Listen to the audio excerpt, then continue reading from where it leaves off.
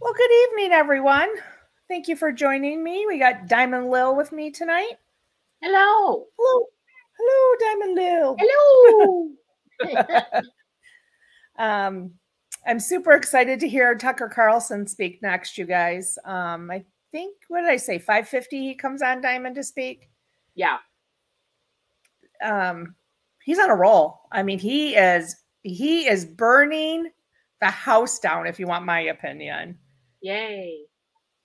I don't think Mike Pence, not that he probably had much of a, a following to begin with, but I he he put the nail in his casket last night.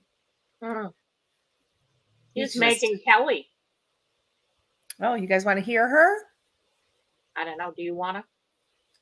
Do you? I don't know. She, We can hear what she's got to say for a second, and then we'll say hi to everybody. Hold on. Welcome to your first Turning Point event. This is exciting. I'm so happy to be with you guys. Uh, it, it's awesome. So, Thank you. so Megyn, I think I speak for our entire audience. The the commentary that you have been doing on the trans issue has been some of the best. I'm telling you, millions and millions of people have their eyes open. So, thank you, Megyn. It's Oh, been a real you. clear voice on that issue. Thank you. It's been an evolution for me. You know, I explained a couple weeks ago how I came into it, you know, when it was a minor issue with much more empathy and let's be sensitive and let's be careful and, you know, don't bully.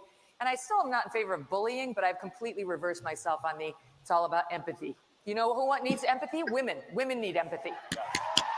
And so, Megyn, I have the toughest question that a Supreme Court justice can't even answer. What is a woman? An adult human female, period. It's not that hard. How should we think about when the regime says there are it's birthing people who can chest feed with a lactating hormone that might disrupt babies' heart rates? This is a real thing, everybody, by the way, and not, not a satire. What we should think is that we need to exit that room immediately because we're not with people who are sane. I mean, I just don't even think we should engage. There's no point in debating actually what a woman is. You're dealing with people who are dishonest brokers. I'm not going to debate that. It's obvious what a woman is. It's obvious that it's not possible for a man to breastfeed a baby. Chest feeding a baby is abuse of a child. We should be standing up against it and condemning, and there should be a healthy measure of ridicule there, there really needs to be a healthy measure of judgment against people who would put an infant through that kind of behavior and who would invade a girl's locker room and who would parade around in their women's swimsuit while they have a penis. These people are freaks if they go in, and they're perverts, by the way, if they go into a female locker room. And Megyn, you've had the courage to speak out, and the media calls you and anyone who says anything transphobic. Yeah. How should we respond to that? Okay. Whatever. Honestly, I've been called worse. I don't I don't care about their names at all. I care about what's right. And that's just a tool that they use to shut us down on these genuine beliefs that are legit, that Democrats hold, that Republicans hold. Honestly, most Democrats are with us on this particular issue. This is not a left or right thing. So let them call you whatever they want. Who gives a damn? Yeah, and it's it's so totalitarian in that if you don't conform, we're going to force it forward with you. And you know, Megyn, this is happening so fast. I believe we're living through a cultural revolution, a- forced forward momentum moment where they're trying to remake fundamental terms and language. And if you disagree, you know they slaughter you. But it takes truth tellers, takes people like yourself and people like you to willing to speak out and say, no, I'm actually not going to do that. No, I actually think it's wrong that Thomas won the NCAA championship as a biological man. Megan Rapino or Rapino? Rapinoe, Yeah, right, soccer. Did you see this? Yeah, I saw it. She's absurd. She comes out and she says, It's not happening. Men aren't winning these competitions. Now, Megyn, that gets to the root of something. We no longer have differences of opinion, we have different realities. Where Megan can't even acknowledge that the thing we're also seeing is a thing that we're seeing. Think of the gall of this person to have made millions of dollars off of us, the American people, out on that soccer field. She didn't have to compete against biological men. She did it all while she had a level playing field, playing against just girls. Now, Megan Rapinoe does not have a child. And so, what does she want? She wants your daughter and my daughter to have to compete against a man out there after she's made her millions and she's safe. Well, no, because you know what? Not only is it unfair, it is unsafe. And you need to go no further than North Carolina to look at the young volleyball player, 17 years old, who came on my show, who was forced to play against a biological boy on the other team, who had a spike the ball in her face so severe she has permanent damage as a result of it. Megyn Rapinoe can take a seat because she no longer has to take the risks. Yes, take a seat. the the this is an this this movement is accelerating. But Megan, you and I were talking about this privately. I actually think it's a winner politically for Republicans, and I just want you to talk about this objectively. Do you think if are Republicans forceful enough on this issue? Is there a little bit too much tap dancing on it? I mean, it depends on the Republican. Um, I mean, I think Ron DeSantis nailed it. You know, he spoke with Benny Johnson within the past month and said explicitly, you know, this absurdity of pretending that a man can become a woman. That's not possible. That's perfectly clear. He's exactly right. You shouldn't be afraid to say that. Trump's gotten some criticism for, you know, the stance he had in 2016. Well, I would submit that's not that doesn't answer the question because a lot's changed since 2016. If you were here me in 2016, I'd sound a lot different. So we have to ask him how he feels about all that today. But I think all these GOP candidates need to be perfectly clear that a man cannot become a woman, a woman cannot become a man, and that we, while we can have empathy for people who have gender confusion, it's a hard no on boys crossing over into our sports or men crossing over into our spaces. Well, that was good, huh? Diamond, you want to say hi to the people in here? You preach we it, girl. Preach it, girl. Leave my daughter, leave our daughters and their sports alone, and don't you ever come in my daughter's locker room. Oh, exactly. Oh. No, no, no. Well, I'm not sure if uh, Wolf Wolfpack Wolfpack Six made it back in, but um, she has her in-laws coming. But she was here first, so hi, Wolfpack.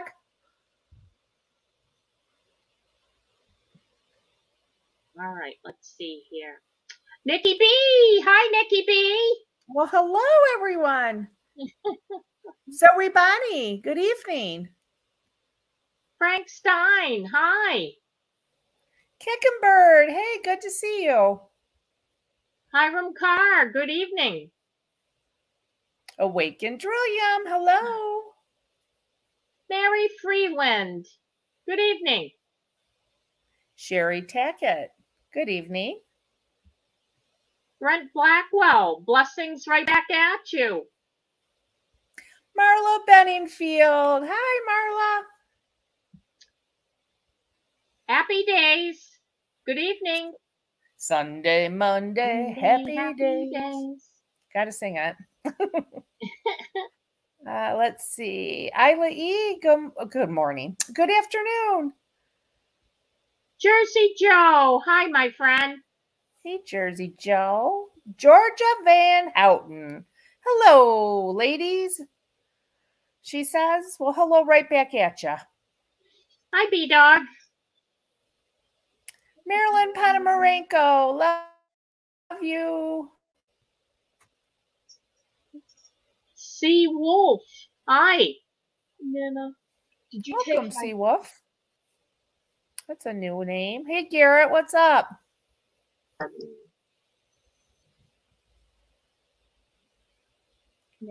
Garrett 01, good evening. I just said hi to him. Oh, you did? Okay. he's- it's okay. My granddaughter's talking to me while I'm That's okay. trying to That's okay. listen. Yeah, I, I thought so. Vicky Soros, hello.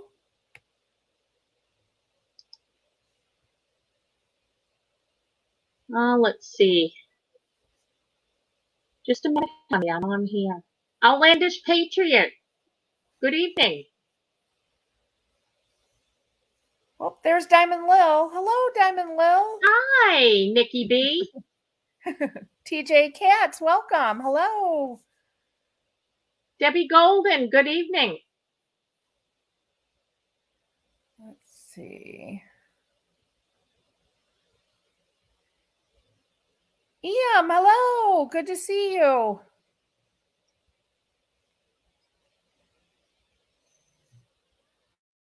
Stingray 1975. Yorga. Hi, Yorga.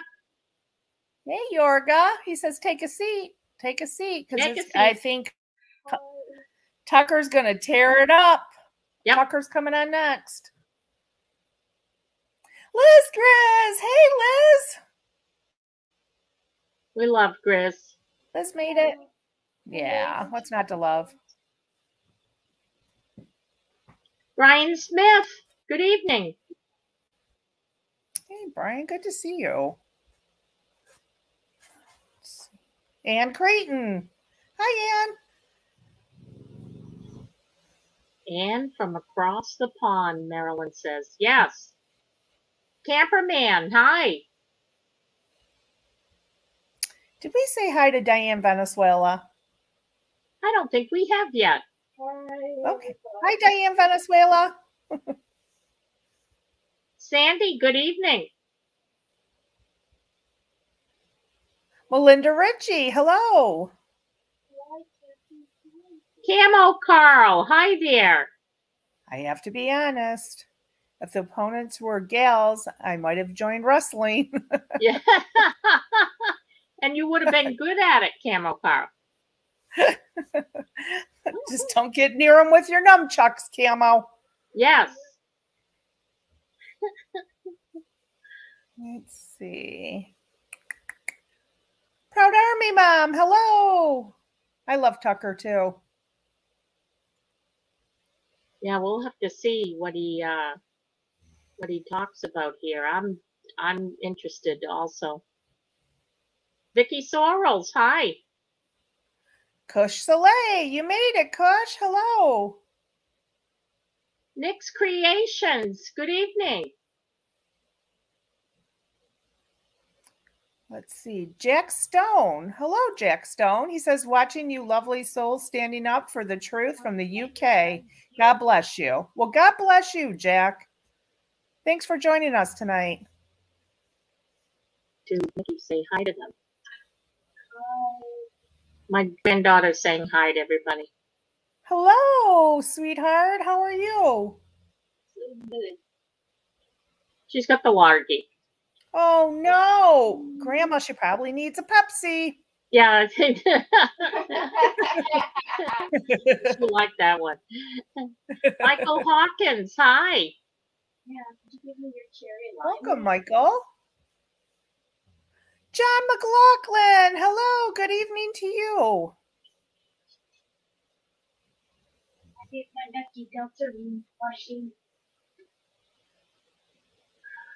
Lone Wolf One, hi. Nick's Creations. Hello, my friend. My got a lot of Michiganders in here. Love my Michigander friends. I think Oh, we reached the you bottom. everybody. Oh, go ahead. I was gonna say I think we reached the bottom. That's all. Oh, thank you for everybody for saying hi to Little Diamond. Lily G. Hello. Okay. Okay. Does she think a Pepsi will help her? Uh, no, well, she just took, listen. I can't drink Pepsi because of the sugar. I'm watching my sugar. You can't Right. So she, Pepsi. she has it. But I bought sparkling waters and now she's drinking my sparkling waters. She well, tell her took- that sparkling water is not going to help her with that headache, but a Pepsi will.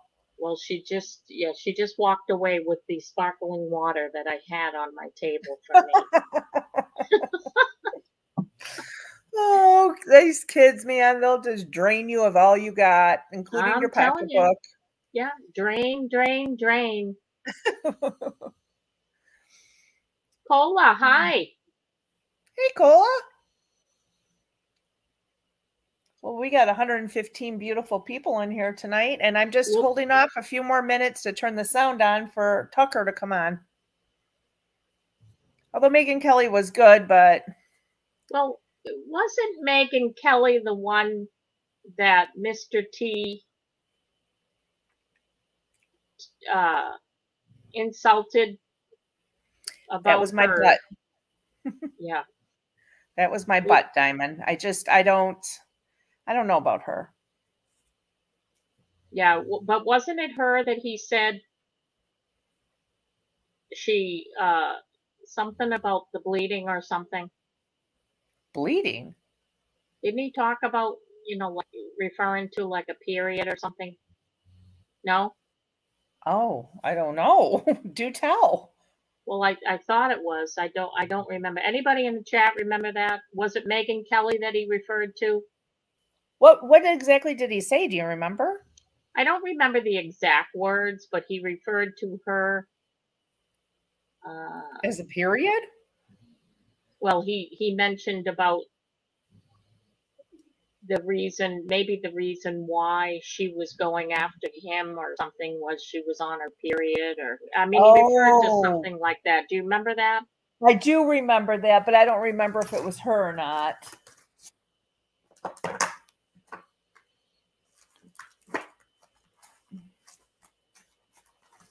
Hmm. oh, What happened to it? Lala says yeah she remembers it but i don't remember exactly what he uh what he said but it was it was inferring you know there was a big to do about it you know Well, it was kind of like I think what he was trying to say is kind of like she was being a bee. Well, that's what he was getting at, but he didn't Yeah. come right out and say that. He he, you know, put the image in your head of she's bleeding from certain spots, and I mean, you knew what he was talking about, but I don't know. I just remember back. I'm not even gonna say it. I, I'm not even gonna say it. uh, B Dog said that he thinks that Megyn might be a flip flopper. I agree, B Dog. um, I I agree too. Lala says from her eyes is what I got out of it. Okay, that that could be. Uh, she says also. I think he meant blood coming from her. Yeah. It was a while. I mean, it was a year or so ago. I can't remember exactly when, but there was a big to do about it. She come out firing at him, and you know, Trump Trump does say some uh, very odd things sometimes. like if I'm being honest.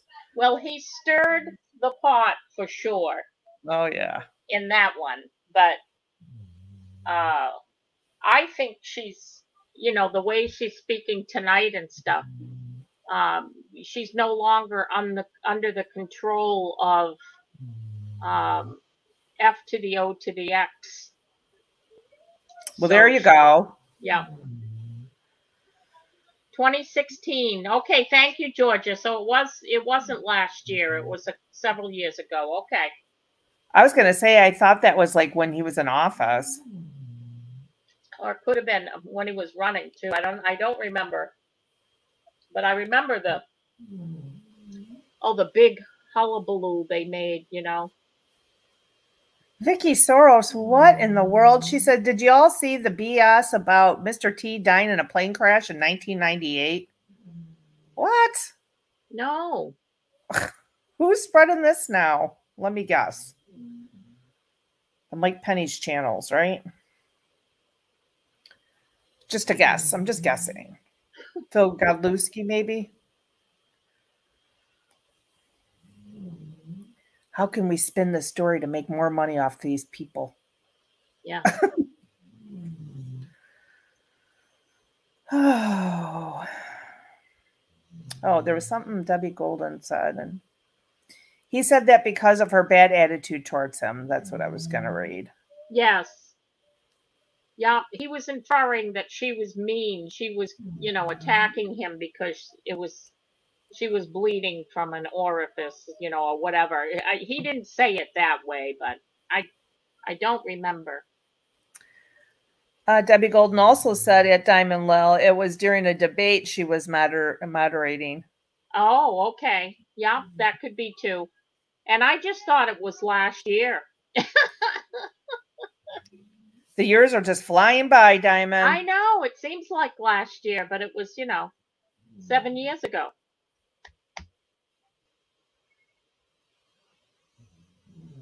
Oh, Vicky Sorrell says she saw it on Tin TV Telegram. I forgot who posted it.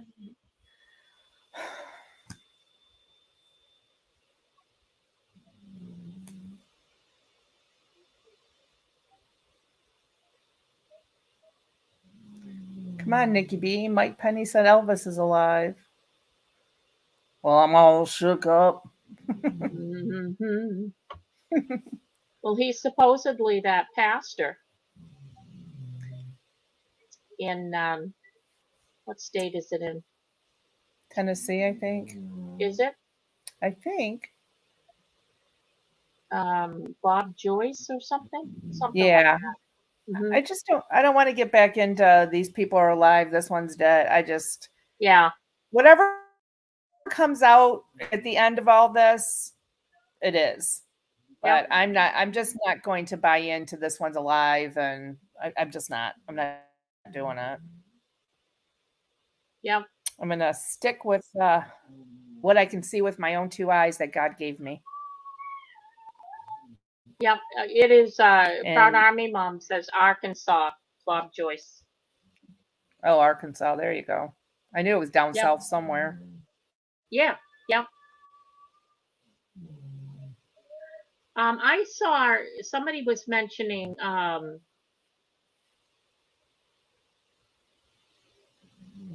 the uh, National Guard. Where is it? Um, who had that on the other night? Was that it was either Benny Johnson or Brian Craig, or was it uh, Tim Pool who talked about the National Guard being brought over to you you you to the uh, crane?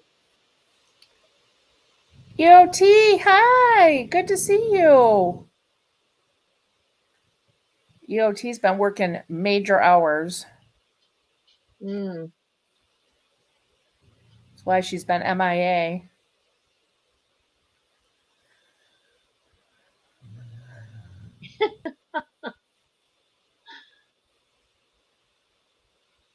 Camo Carl Camo says, Carl.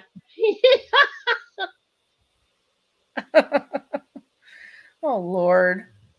I'll buy that for a dime. How about you, Diamond? I've questioned that for a while. I question a lot of things. Camo Carl says, I heard Craig DeHunter is secretly a commander in the Federation of Planets, a real space cadet. hey, I saw Jeff Riddle posted a picture of his ice cream bike. Yeah, I seen that on Facebook. Yeah, with an umbrella up and a couple of chairs sitting there. And all I can think of when I hear about him is that Van Halen song, Ice Cream Man. Stop me when I'm passing, Passing by. by. He's the ice cream man. Stop him when he's passing you by. Hey, Jody Terry. Good to see you. Clay B. Hey, Clay. Ten.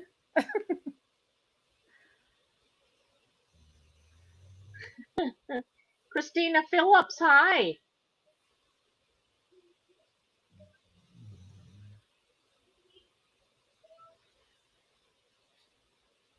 Hi, EOT. Christina Phillips, hello. Wait a minute. Megan thought it was Harry's Meg. She reg to be pres. She ran to play, be president in, of 24. What? Huh. Is she running to be president? Megyn Kelly? Uh, I think she's saying that Meghan, Harry's wife, registered to be president. Yes. No way. Yeah, no. No. She wouldn't she'd get one vote, that's Harry. Oh my God. And I don't even think he can can is he a citizen? Could he vote? Well, of course he can because uh non-citizens vote all the time. That's true. Right. Go to the dead, Diamond. The dead are voting now. It's a, it's a oh, cool thing dead, to You do. don't even have to be alive. yeah. Right. Mm-hmm. Diane Venezuela says, I'd love to see Byron, Donalds VP. He's too young. I like that guy. I do. Push says there's a song from the Ronettes with a man who sells ice cream on the road. Hmm.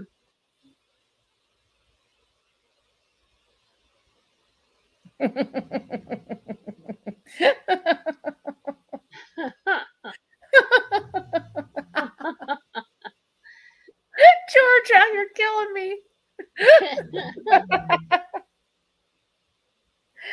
I think he's talking about going out there in gorilla costumes and stuff, chicken costumes.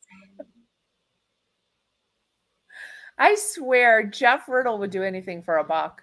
Anything. He cuts down trees, he picks up junk. He he would do anything for a buck. Junk and a hunk. To what uh, what is it? A, a punk no, a punk a punk and a hunk that pick up junk. I think Yeah. something like that.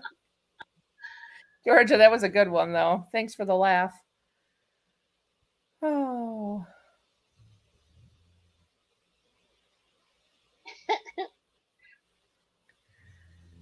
Let's see. President Trump to speak at 645.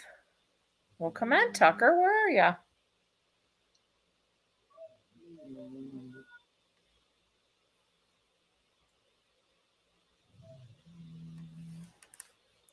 Well, let's see what she's flapping her arms around about.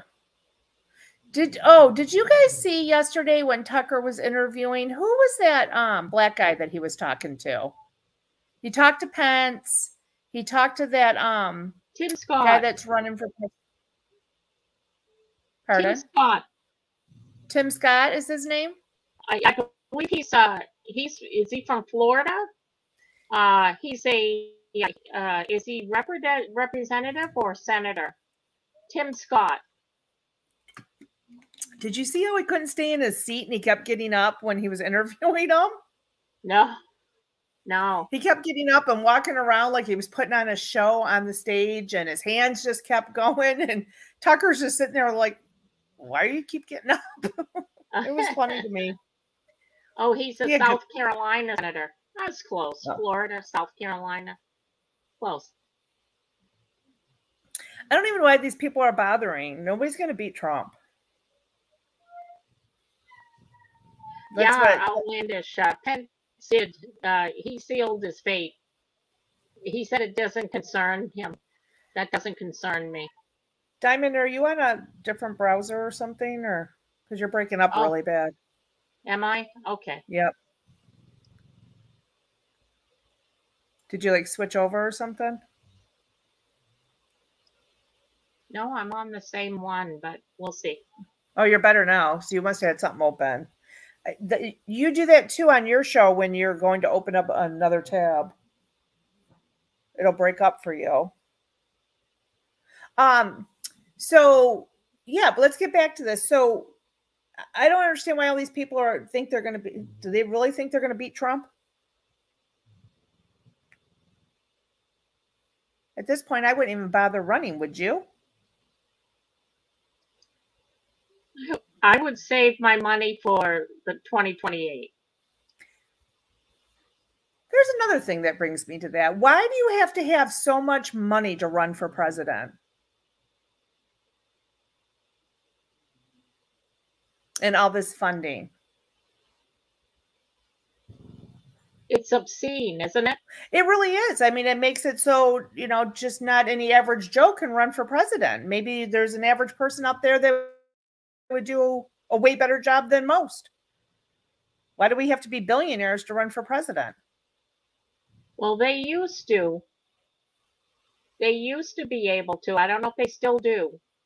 But they call it the war chest. And whatever you had in your election, whatever you raised for funds, whatever you didn't use, you kept. You kept or the government kept? No, they were able to keep personally. Okay.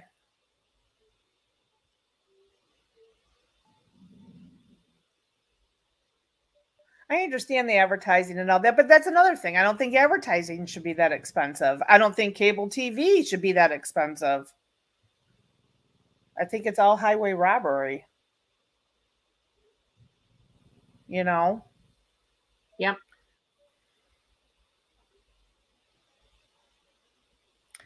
Well, I don't know what's going on here because per the um, itinerary for today for Turning Point, it said that uh, Tucker was supposed to speak at 5:50. It is now 6:02.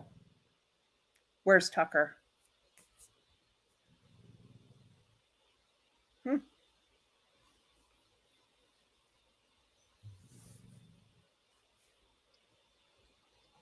I'd like to see Tucker interview Megyn Kelly. Oh, that'd be that'd be great. I'd love to see Tucker interview Joe Biden. Oh Could boy. you imagine? Well, we've got to play. Tucker's got to play that 20 second clip of him trying to eat that little kid and sniffing Goodness. her. Diamond, who does that? No, I don't know. It's just it's mind blowing to me. Just mind blowing. Yeah. It was, you know, you look at it, Nikki, and it's disgusting.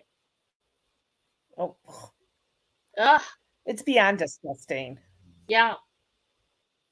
I know we talked about this this morning, but I would love to see a child just haul off and just punch him in the face. That'd be the best video clip ever. yeah.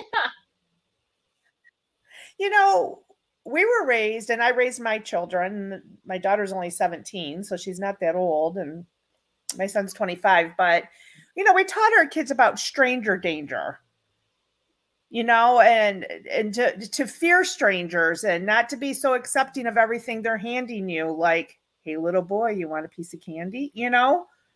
Yeah. Come see my puppy at the van. You know, we teach them all this and put them out in society and hope that you know we've done a good job. But now we have the president of the United States states sniffing children. It's, you know, it's like I, I asked this morning how many of us, when you meet someone, lean in and sniff them? Zero.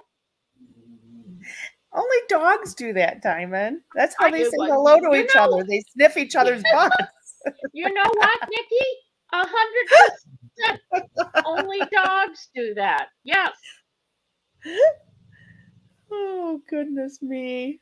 Well, that's what he is. He's a dog. He's a lion dog with mm-hmm. fleas. Disgusting. Ugh. I tell you, I would have been the Secret Service if I was that child's mother and he leaned in and did that to my kid. I would slap him across the face. And the Secret Service would take me down because he and and it would be well worth it because he deserved it. Oh, 100% diamond. I would have I would have paid to see you punch him. I, if I would have took up a took up a um uh uh what do you call it? not a poll for you um what am I trying to say? took up a um bets Collection. you know how, how much you want to bet that Diamond's going to do it? You would have won a lot of money for punching by now. if that's my young baby and Oh. he's going over he does that to her smack Oh, it wouldn't have been a smack. It would have been a right hook to the jaw. yeah and john dunning says they found his coat he has to sniff something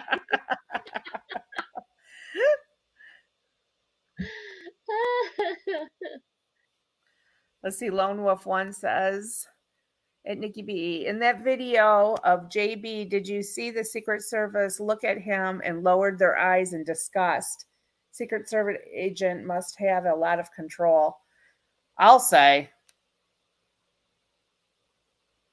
yep i'm sure they've seen a lot of things with this disgusting uh, piece of work That's putting it nicely. Piece of work.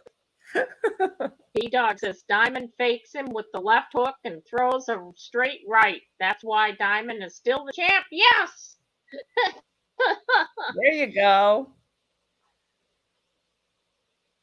You know what? Uh, Clay B says, Nikki B, would you post the bail and get Diamond out?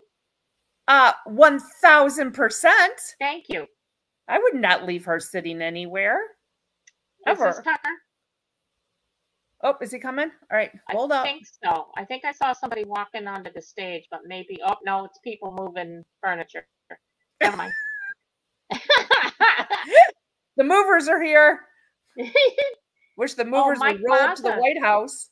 Mike Mazza has a great suggestion. We need to put pepper spray in the kids' hair. Ooh, there you go.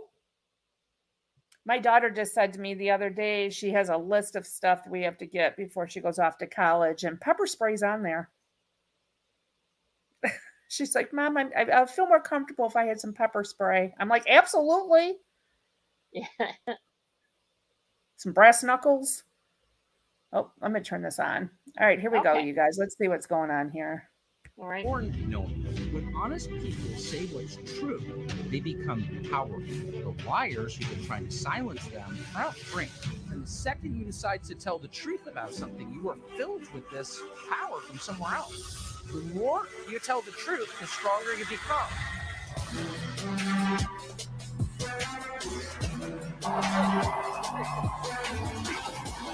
Tucker Carlson. Amazing. Thank you. Oh my gosh. Thank you for having me. The, this, yes. Thank you. The smoke machines are so affirming. Wow, this is, it's, thank you for having me.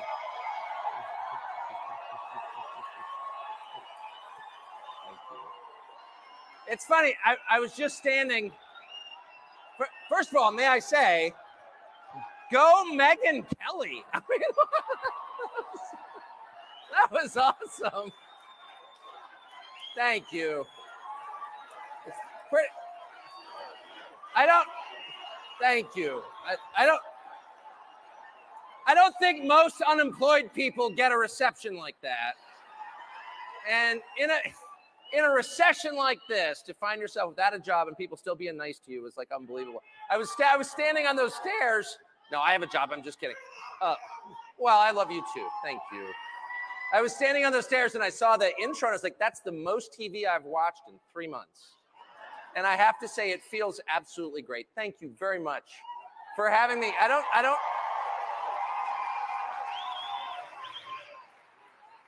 Roger Stone, ladies and gentlemen. All the cool people are here. It's like unbelievable. Um, wow. Yeah, I haven't been around a ton of people in a while, but I never miss this event ever.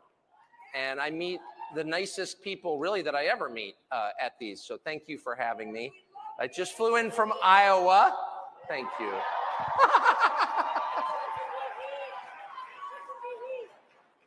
which is a wonderful state and it follows if you ever if you ever travel domestically remember the worse the weather the nicer the people and the more fattening the food. And so that state worst weather in the world nicest people and i met uh, basically your republican field. Uh, they're minus one. Yeah exactly. So i met I, I got a chance to interview the republican presidential field again minus the front runner um, and it was completely fascinating. And as it always is to be around politicians, politicians are a group that I despise on principle because they're, they tend to be soulless um, and have kind of barren and sad personal lives. And so they, you know, spend their days trying to win affirmation from people they've never met. It's pathetic. Uh, but in real life, no, it's true. They all have alcoholic or abusive fathers to whom they're trying to prove something. Um, but in practice, in person, I mean, they're all super charming. I mean, there's not a politician in the world who's not charming. That's why they went into this business. It was either that or selling cars, and this was more lucrative, so they went into it. So I like almost all of them when I meet them. I mean, you, you can't not. They can talk about anything. They've mastered the sort of shallow small talk over coffee, which I definitely appreciate. That's an acquired skill, um, and they've worked hard at it. But I have to say, after spending all day with them, I learned a couple of things which I think may be relevant to you and to the country. And a couple of things, and I'm, do not want to attack anyone in pers- on personal grounds uh, or by name. It's tempting. I will say it's tempting. Whoever said do it, you're the devil on my shoulder. do it. I've, I've spent my I've spent my whole life. no, no, no, no. But if I could make some general observations, which I think are more edifying than just like savaging Mike Pence, um, I, I think, which I'm not going to do, because that would be wrong. And it would be wrong because it's too easy. And the easy things are not rewarding, are they? You don't feel good when you beat your five year old in soccer or ping pong. Like what? But I did learn a couple of things. It was super, super interesting. The first thing, I guess I already knew it, and you know it already. That's why you're here, which is the spread between the things that Republicans in Washington, the people you vote for and put there, care about, like actually care about, you know, pretend to care about a lot of things, but the things that really touch them off, that matter to them, very different from the things that matter to the people who vote for them. And you kind of thought that would change you know, because we did have an, a, an event several years ago where Republicans elected a guy basically on the promise to blow up the Republican Party, and you thought, you know, that would get their attention.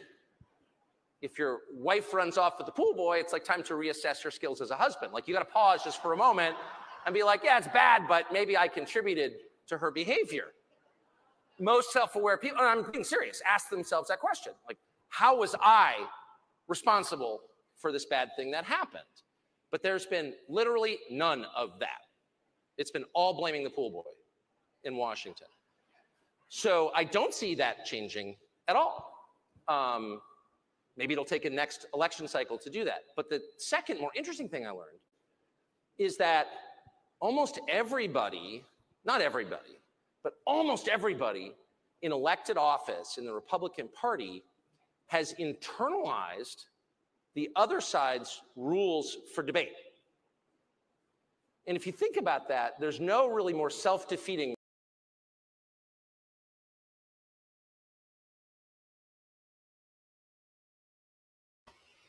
Oops. What happened? I don't know. Hang on.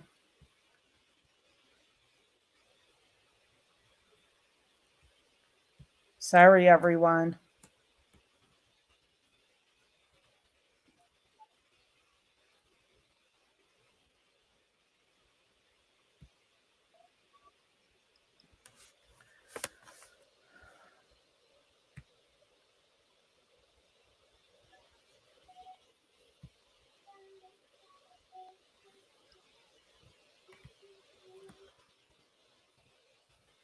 Yeah, it's almost like it just kicked itself right out.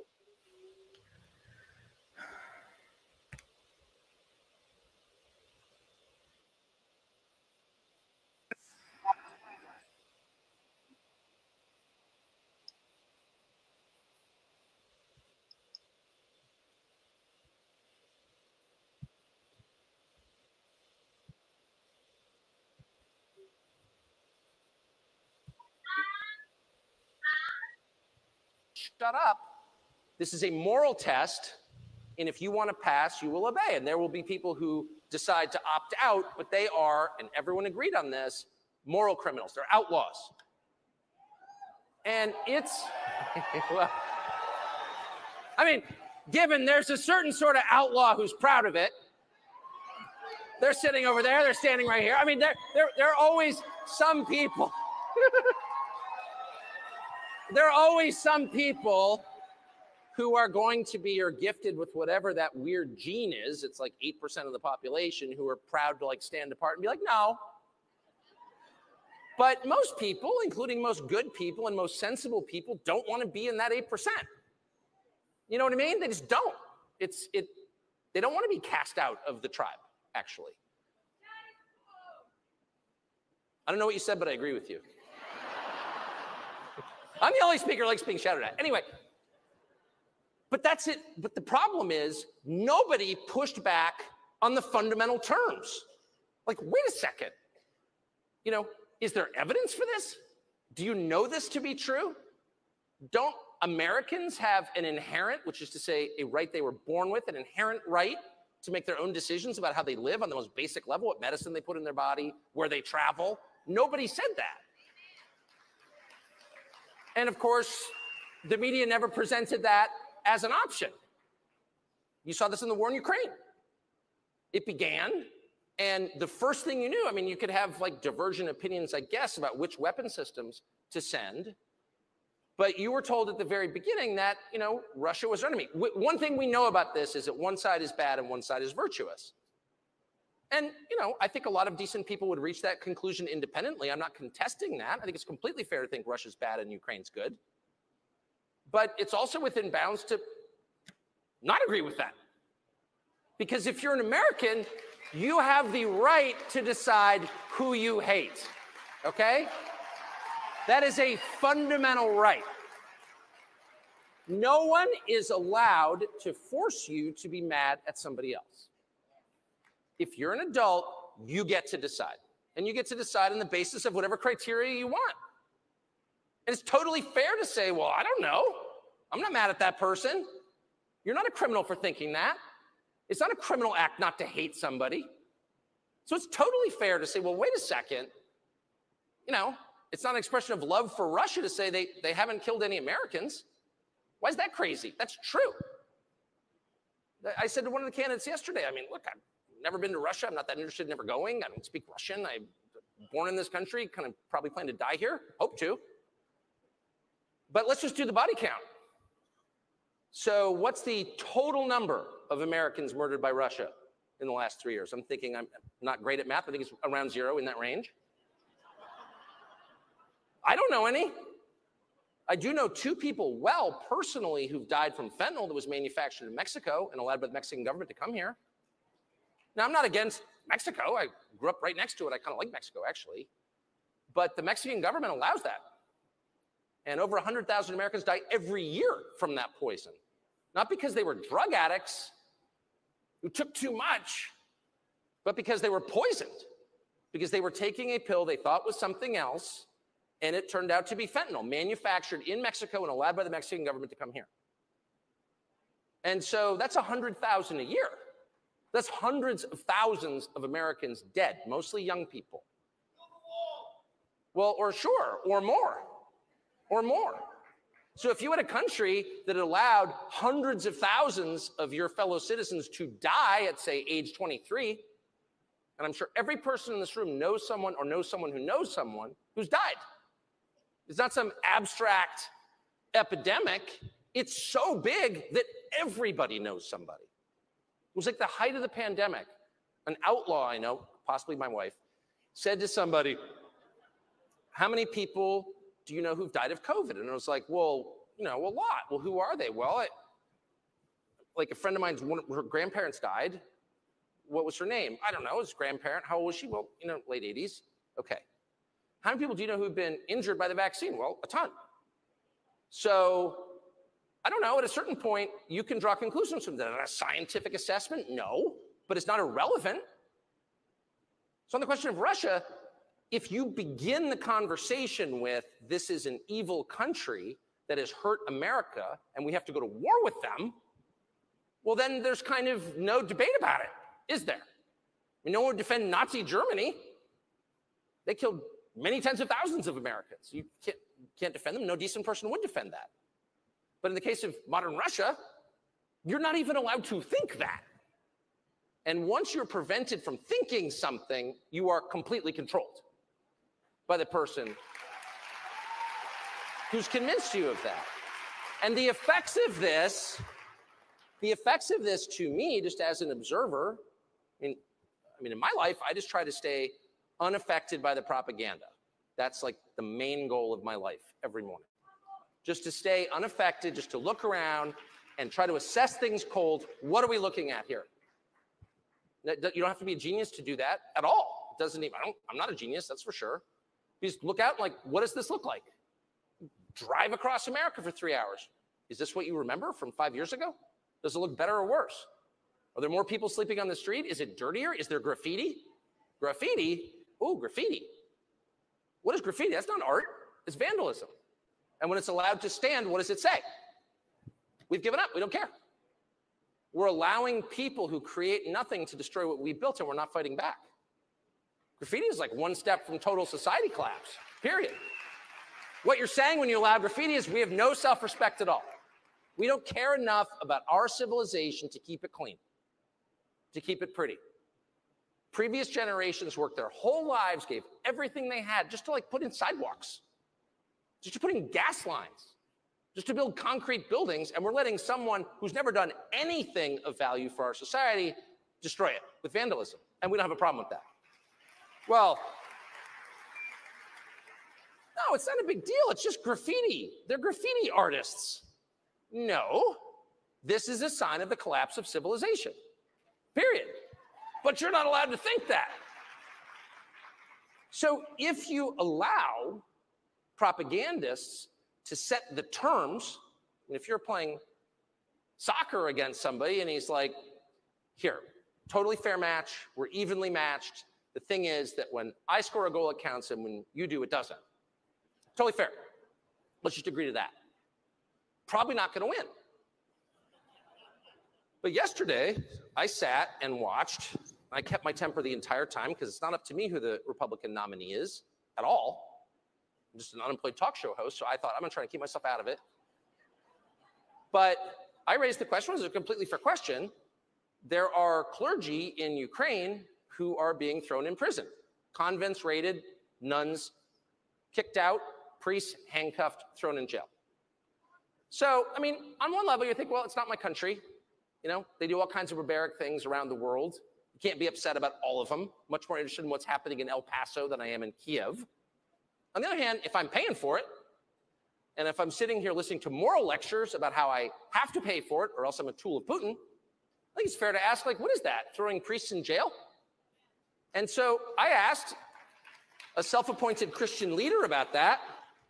And I said, What do you think, as someone who's spent his life advocating for religious freedom, about raiding nunneries and throwing priests in jail? And he said with a straight face, Well, they, you know, they had the wrong views. Oh. Oh, so, oh, that, okay, I'm sorry, I didn't realize what the boundaries were. So you have religious freedom or freedom of speech or freedom of assembly as long as you stay within the lines. But if you express an unapproved view, then you go to jail. But that's freedom, isn't it? You do exactly what I tell you to do, or else I imprison you. Is that the freedom that you recognize? No, that's insane. And so that irritated me. And I said, Well, but don't you think, as a Christian leader, you should say something when Christian clergy are imprisoned for their views? No. And how dare you say that? And this person was joined by a chorus of people on the right. Yeah, shut up. Shut up. National Review wrote a piece this morning. Shut up. It's bigoted to notice that Christian clergy are being imprisoned in Ukraine. And my view would be you know, maybe you care, maybe you don't. But if you're a Christian leader and Christians are going to jail for their views, you are required to say something. And if you don't, you're not much of a Christian leader. And by the way, the person I was speaking to is a person I think of real faith and of decency. Like I would let him babysit my kids. Not for long, but for dinner. I mean, I don't think he's like an evil person. He's not a secret serial killer on Long Island or something that I know of. But he, with a straight face, told me this. And he said, But what Ukraine really needs, and I say this as a Christian leader, is more cluster bombs. And I thought, well, you know who it was. And I thought to myself, more cluster bombs. Now, I am not a Bible scholar, but I'm pretty sure, having read four out of four Gospels, that like Luke 17 doesn't call for shower cluster bombs on the children.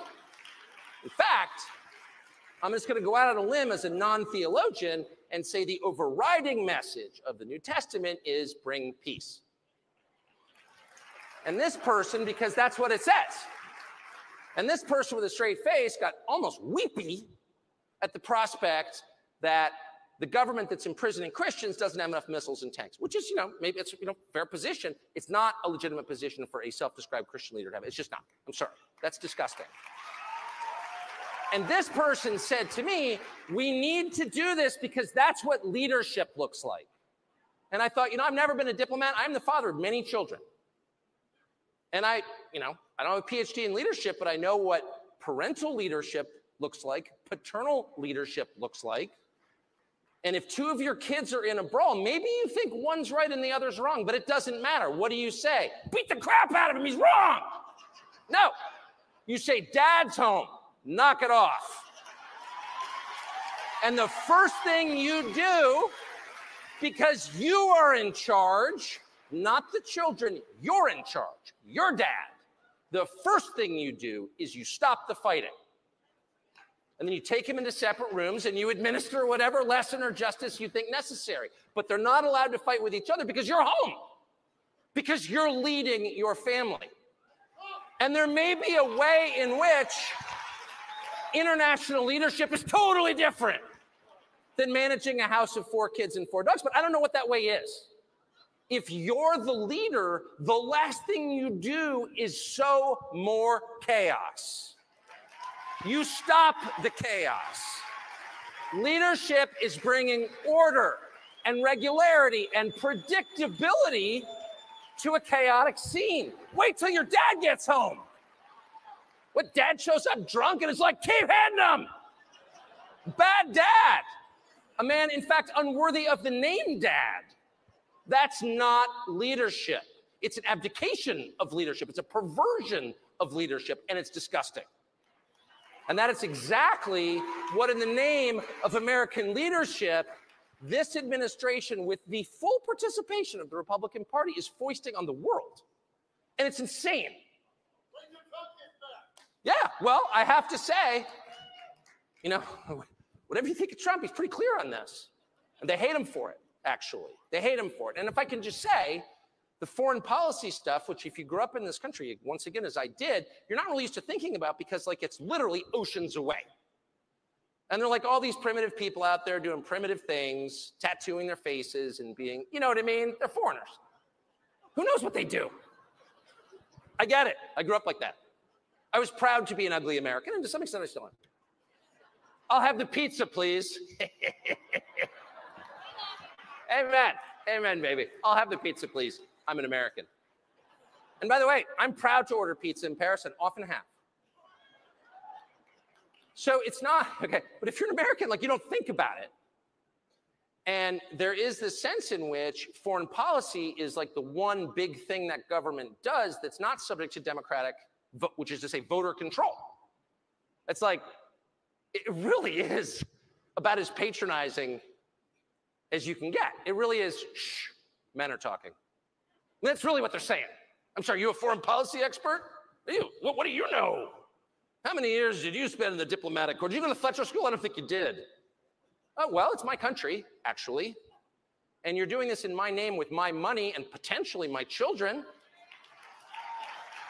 So, whether you want my input or not, you're going to get it. But that truth that democracy requires the public to sign off on wars is totally alien in Washington. And that's exactly why they like it. It's exactly why they like it. If you were to try to get some, you know, trans rights bill through the Congress, like you couldn't get it through because people are watching and they should be, and amen. And the democratic process works that way. Probably not going to pass a bill in the United States Congress, even if Democrats control it, that says, you know, basically no more men's and women's bathrooms. We're all going to be in one, one latrine together and we're going to like it. That's probably not going to happen because nobody wants to defend that. But sending cluster bombs to a government that's imprisoning Christians and stealing the money, think that's kind of not your business, America. And so they can collude and do it together. That's the truth. And the fact that Republicans have allowed this, and that even now, and again, even if you think we should be supporting Ukraine militarily, which is, I think, a legitimate, I don't share that view, but I think it's entirely legitimate. And I think there are a lot of awfully nice people who feel really bad for the Ukrainians. I actually feel really bad for the Ukrainians myself and think Russia shouldn't have invaded. I agree with that. But it almost doesn't matter where you are on this question. If you can't have an adult conversation about it, which begins with the very obvious question why should I be mad at Russia? Like, why? Shut up. If the answer is shut up, or if the answer is to accuse you, an American citizen who loves your country, whose ancestors fought to defend it, of disloyalty to your country by people who care not at all about the United States, it's too much. It's just too much. It's too outrageous to stand. But what I will tell you, if you want to know what really, really matters to them and to you and to the future of the country, consider the things that you are not allowed to say. I noticed this right after January 6th. I'll never forget it as long as I live. As a very literal, not super quick, not highly clever person, I was completely content to believe January 6th was what it looked like to me on TV, which is a bunch of angry people who thought the election was stolen from them, who, who appropriately went to confront the people they thought stole it. So, like George Floyd gets killed, and all of a sudden they loot Foot Locker. What did Foot Locker have to do with it? I will say, in Republican primary voters' defense, they're mad at the Congress. They went to the Congress. They didn't loot any liquor stores. They just went right to the source. That's true. It wasn't like, oh, they stole the election from us. Let's loot Macy's. All right. But anyway, so I saw this and I was like, yeah, okay, it was people super mad. They thought the election, I mean, this was January 6th. So, like, it was, you know, it took a long time for me to figure out what happened, just being honest. I think I'm just too old. And so it's like hard to notice when things change, like certain assumptions you have, like, yeah, of course it's on the level. They wouldn't actually like subvert an election. And as someone very smart said to me, really, people kill each other over insurance claims. Uh, this is running the world. like, what wouldn't they do? Oh, right. Good point.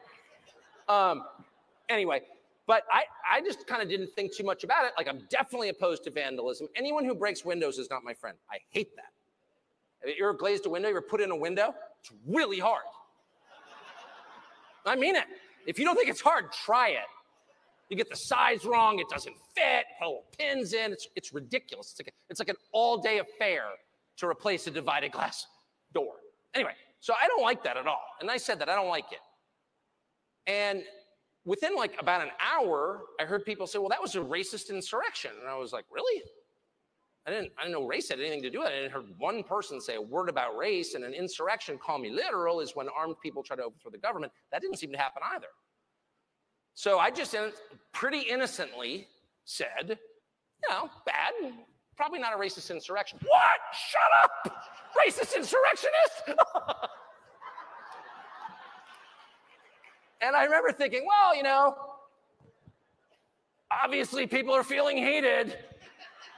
But like in a week or so, when you know the emotional devastation of this second 9-11 slash Pearl Harbor wears off, people calm down and come to their senses, and you can have like a rational conversation. Trip West, I see you in the front row um, sorry, just saw a friend of mine sitting right there. We can have like a rational conversation about what this actually was and why. And at a certain point, because I really believe in cause and effect, someone will say, well, why were these people so mad? That you know, none of them had criminal records. They were like grandmoms with diabetes and like a lot of debt. They're the least powerful people in our society, like legit the least powerful. And why were they so mad? Like, why did they take the bus from Tennessee to go jump up and down in front of the Capitol? Like, something probably had better things to do. And then maybe if they think that the election wasn't fair, we will sit them down in a very calm, rational way and be like, I get it.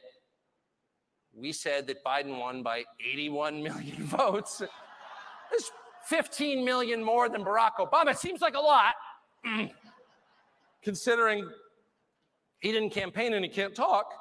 Um, but you know, there was just something about him. It was that magic. And, you know, maybe you didn't feel it. It's like pistachio ice cream. It's not a flavor for everybody.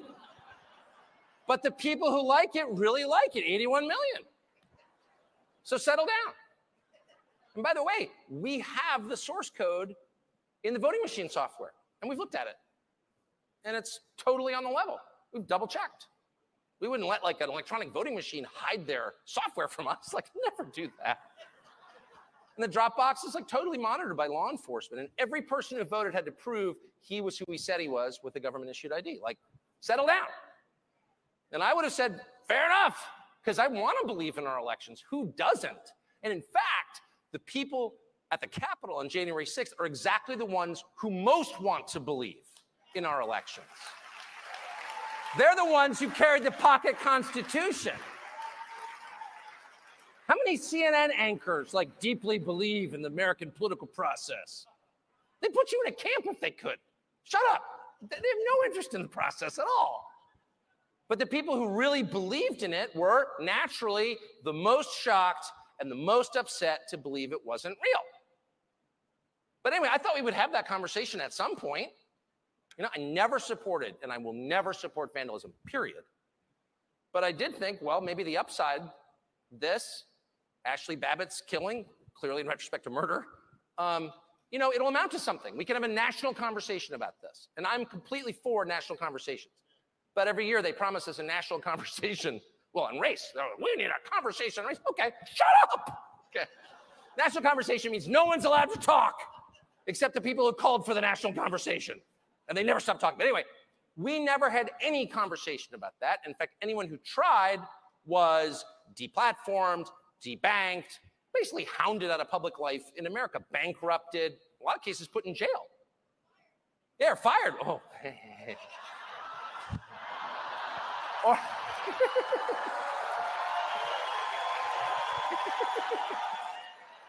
pretty funny.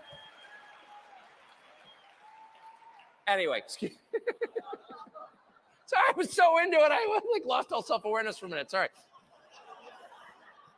But we never, not only do we not have that conversation, that conversation was literally banned. Now it's in the guidelines of most of the big social media companies. You can't have that conversation. So I would just, I would make a couple of points. And the most obvious one is any country that doesn't allow a free discussion of the process by which its leaders are elected is not a democracy, by definition. A country without free speech is not a democracy. Free speech is a prerequisite to democracy. You can't have it without it. You can't have a dinner party without dinner. You can't have a democracy without free speech, period. So there's that. So whatever you tell me, and by the way, isn't it? It's so interesting, and narcissists are this way. The projection involved. It's like whatever it is they're doing, and I mean at a precise level, is exactly what they accuse you of doing. You're attacking democracy. Really, I like democracy. Democracy would give people without money and without a TV show some voice in how they are governed. Therefore, I'm for it. And they want exactly the opposite. So the middle class in America, which has been not the majority since 2015, an anniversary that nobody noticed, has less economic power than it's ever had. That's why Trump got elected, in my view. And now it has less political power than it's ever had. So if you are taking power away from large segments of your population, you are by definition attacking democracy. That's exactly what you're doing. There's no other name for it.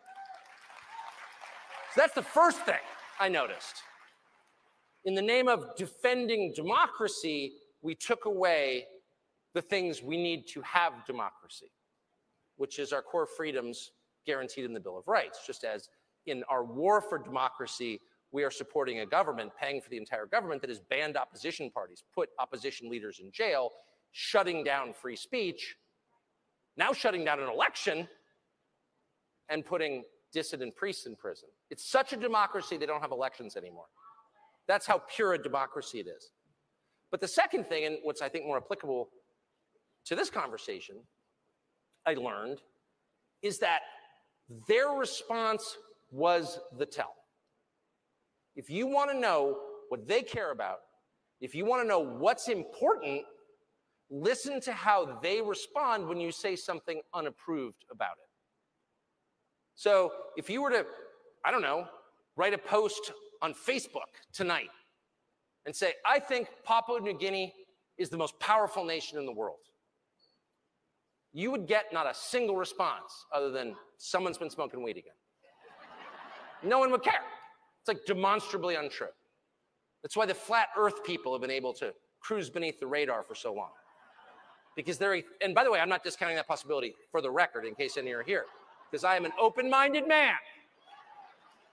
Present me the evidence of its flatness and I will amplify it. But the point is, when something is clearly or very likely untrue, it poses no threat to anyone. What's scary and what will elicit a response are true things. No one is punished for lying.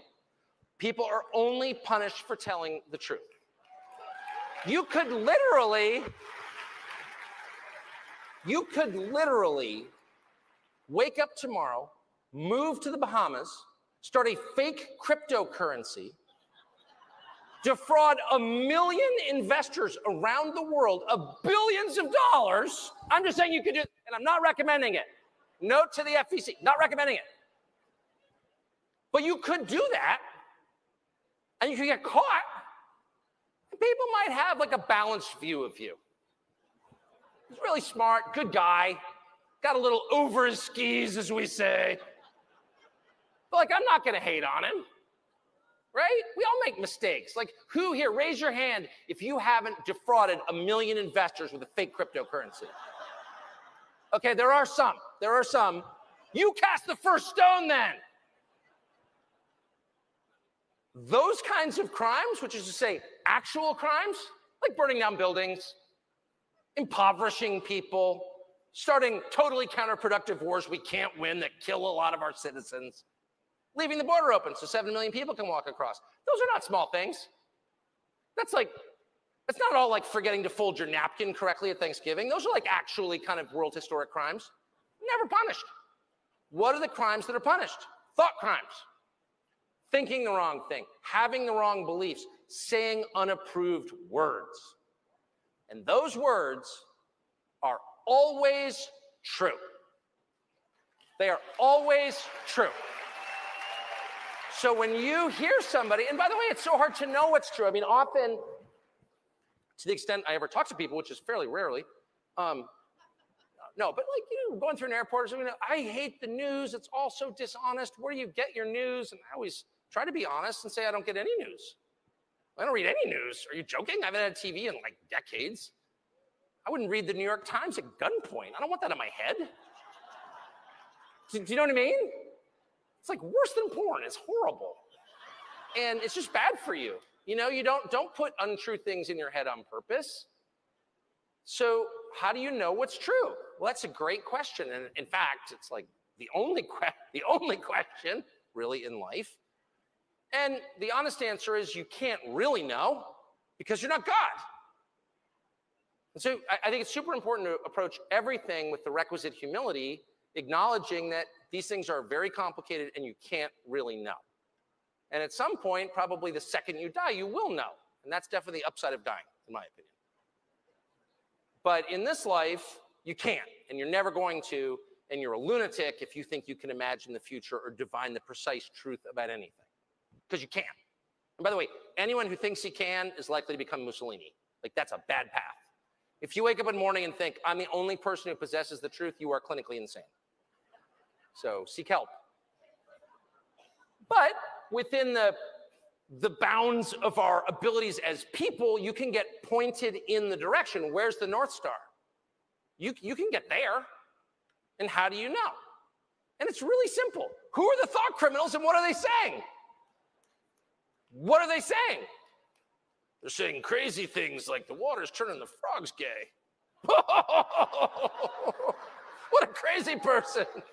Let's make him pay a billion dollars. Water's actually turning the frogs gay. That's true. Turns out. Years later, they tell us. Turns out it's true. Yeah, it's actually true. Um, I, I'm not, you know, I'm not endorsing any specific person's theories about anything, but I am telling you that the people who censor your words and thoughts have a, this is one thing I'll say about them, they have a very precise and well calibrated sense of what's important. They know these are not frivolous people. They can smell like your dog can smell, like your parents could smell in high school if you smoked a Marlboro. They know what's important. They don't waste any time in the unimportant stuff. And so I would honestly say a lot of the debates we have, and certainly a lot of the ones that I've engaged in, probably diversions from the things that really matter, honestly. And that may account for why every time I was out of the country last week and I came back and I feel like I've got a duty to be up on the news, read all these texts, and like everything I read is like a new height of insanity. I'm like, that's uh, that that is the Mount Everest of lunacy. It can't get any crazier than that at all. Breastfeeding men or whatever.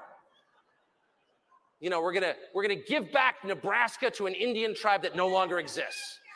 We're not doing that, by the way. Omaha's safe, but I'm just saying. Every one of these stories enraged me. And of course, that was probably the point. I do think, I really believe that the exponential growth of totally irrational claims by the other side, things that no sane person could, I mean, beginning with men can give birth, but there are a million of them, that these claims are actually designed to take people like me and send us off into a screaming fit so we don't notice that actually they're looting the country. I think that. I don't think that I don't think there is a single member of Congress, except like maybe the dumbest, maybe Ocasio Cortez or something, but like, but the but the but the normal ones, or semi-normal ones. I mean, grading on a curve.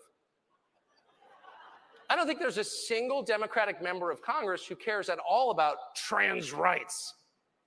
I don't think there's a single one who thinks men can breastfeed because, like, not one in history ever has. Quite a bit of evidence to the contrary on that claim. I don't think they believe it. I really don't. And by the way, it, it's super important to push back against them and to call them crazy because they are. I'm not saying a retreat from these things at all. I'm merely saying if they throw a story in your face that's so nuts that you can only growl like a dog in response, they're probably doing that on purpose. And you should probably look around and ask yourself, what are the topics that no one's even pushing back on? What are the topics that their response is so ferocious that people are like, I don't want to deal with it? One of them is the war in Ukraine. Another's COVID. And of course, the third is January 6th. And you have to ask, why is that? Well, it's not by accident, trust me. There is a reason. So, what'd you say? I don't know what, you know what? The thing about that story, it's just a mystery to me. No one was more shocked than I was. Are you serious? In the Biden White House, somebody left an eight ball of cocaine in a public. I was like, I said to my wife, that just doesn't, it's just not in character. You know? I just don't believe it. It's clearly a setup. I went right back to Marion Barry and I was like, somebody set you up. I'm serious. It was, you know what I mean? It was like, it was, can I, I'll stop with it. That was my favorite story of all time. because it just explains all the behavior. It really does. I mean, I worked in the media business for my whole life, so I, I know what the behavior looks like. But it's like crazed and grandiose. I've got a plan. You're not going to believe it. It's unbelievable. It's going to totally work. What we're going to do is we're going to totally rearrange everything okay? We've been doing things a certain way for a long time, okay? And it's worked, but I've got a better plan.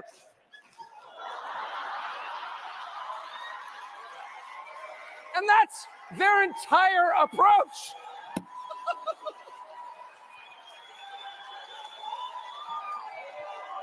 so, if I can just give you one piece of advice, after 27 years in the television business, don't trust a man with numb gums.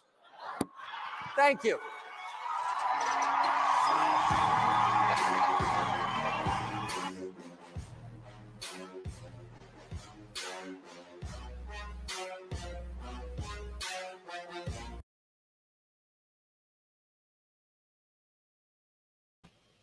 Well, that was amazing. Yes, he was very good. Love Tucker. Uh, Tubla says, Hello, everyone. Tucker is actually saying what everyone's thinking and still has brain cells left. Common sense. Yes. We just don't have the voice because we get censored, which is so true, Tubla. And welcome to the show. Hi, Tubla. That was excellent. Yes, it was. I'm just, I was sitting here thinking, Diamond, I am just so, so thankful that finally we're, we can sit here and listen to people speak truth. Yes. For so many years, we've had to listen to the rhetoric of the left. And look how look how uh, out of touch these uh, politicians are. Yeah. They have no clue what's on the minds of the American people. Like he was saying, and I know he was talking about Pence. Oh, yeah. Yeah. No doubt. Mm-hmm.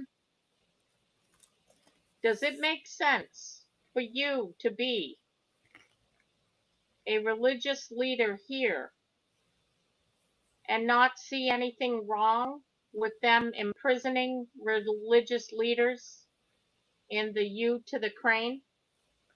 It makes no sense at all. No. From what I've seen so far from Mike Pence, he is not a godly man. Yeah. He does not walk in faith. There's no way. Because anybody that walked walks in faith would never ever act the way he does and say Yeah. the things he says. I, I the in my mind, uh, the jury is out on him. Uh, I know Heavenly Father has said that he is not who he's being portrayed to be, but uh, I just don't see it. You know, Well, uh, you know, Diamond, I always go back to that fly on his head. yeah, we all know what flies are attracted to. yeah. I remember sitting here watching that on TV going, What in the world is up with that fly? yeah, Yep. Flies are attracted to Poopity poop. Yep. Krista. Uh, mm. Yep. Oh, Jody Terry says Pence, red rum. Red rum is murder spelled backwards. Oh. Oh. Hmm. Interesting. Well, we were told or we were shown that that young boy that he had. Remember that? Yeah. Gosh, it's hard to believe that was three years ago we were watching all that stuff. I know. Crazy. It's all coming full circle though. I even see people talking about things we talked about in 2020. Oops, 2020. Can we talk freely yet, YouTube? I'm not sure. What day of the week is it? You get to talk freely on odd days, I get even days. okay.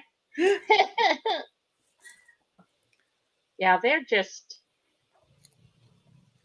YouTube is is just I don't know.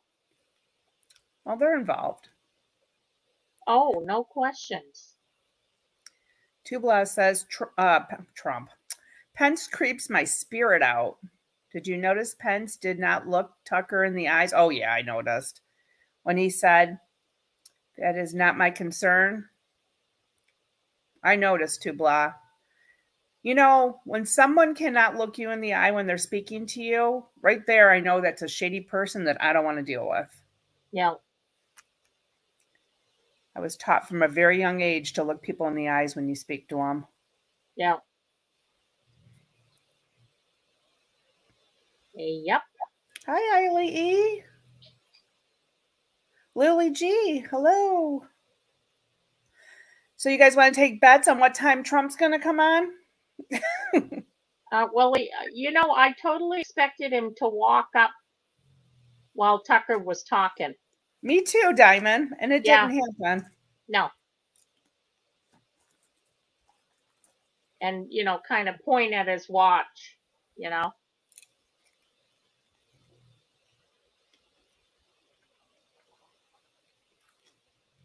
Well, they must be uh, running behind from another speaker or something. Mike Mazda says sundown. Well, I don't think the sun's setting here for another hour or so, so I hope it's not at sundown. Yeah, I still have, uh, I have full sun still. yeah, I it's cloudy, but I still have, you know, it's, uh, the sun hasn't set yet. Oh, did it rain today, Diamond? I mean, it was coming down in buckets. Hmm. And now it's sunny. Now I wonder how the ice cream man fared. I think he, he might have been a what ice cream man. Yeah. He did have an umbrella over it, so.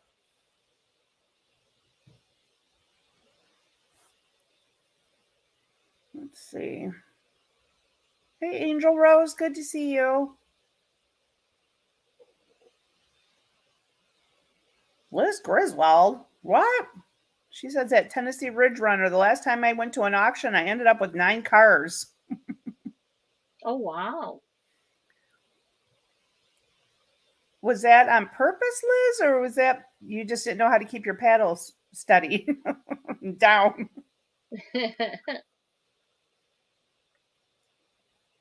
I love, I love flea markets too. B Mitch. Sorry, Diamond. Go ahead. no, no, no, that's all right. Marla Benningfield, Central Texas is still looking for rain. Marla, you could have had ours today. Yep. I heard it's going to start getting really, really hot down there, Marla. I know it's been hot, but I, I heard it's even going to be hotter. Crazy weather we're having. Just crazy. Yeah. I'm starting to get a little concerned about my daughter's graduation party here in a few weeks. Mm. I mean, it's just rained every day. Well, you all can get into the garage. Well, I ordered a tent, but Oh, it's okay. still, if it's coming down sideways, you know what I mean? It's just, Yeah. I want Yeah. it to be a nice day. Yeah. Well, we'll pray for that. Mm, Thanks, Diamond. Oh, Marla says it's 107. Oh my goodness. The heat index of hell. You guys are in Hades, aren't you? Wow. Marla, what's the normal temperature in the summer, like around this time in July? Does it go to 107 usually? I don't know what the norm is in Texas. Marilyn Ponomarenko just walked her dog. It's 109 out. Yuck. Can't breathe. Oh my goodness. She's in California, right? Yeah. 109? You could fry an egg on the sidewalk.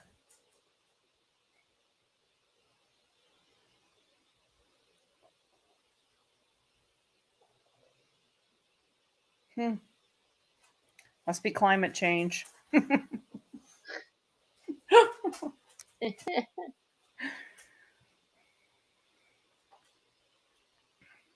Did you hear that there? Um, I heard just a- little clip of something earlier that they're going to start grounding flights because of climate change and all the fuel that's being used. But all these uh, governors and you know government officials, they can fly in their planes. But just our us little peons, we we can't fly in planes anymore. Mm.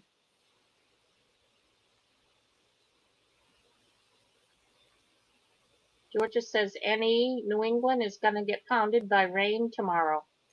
Bring it on. Well, we got it today. and yesterday in some parts here. It rained. It rained where I'm at a little bit yesterday, but nothing like today. Mm. Oh my goodness. Liz Grace says 112 in Golden. Is it Valley, Arizona? Valette? Hmm. Could you imagine 112 degrees? No. That's that's hot. All right, Diamond, if you wouldn't mind taking over for a minute, Hank needs to go outside again. All right. My Hankster. I'm coming. Okay. Yeah, if you would hit the like button. Um, support Nikki B's channel. Um, I guess I am supposed to get rain tomorrow. I just looked at the National Weather Service. You're probably getting what we had today, Diamond. Yeah, she says uh, Georgia says northeast diamond low, including New England, four inches of rain in an hour, kind of rain. Aye. Yeah, see, it's hitting um Awaken just said it's in Can- Ontario, Canada now. So she's got what we just had. And then it's gonna come over your way.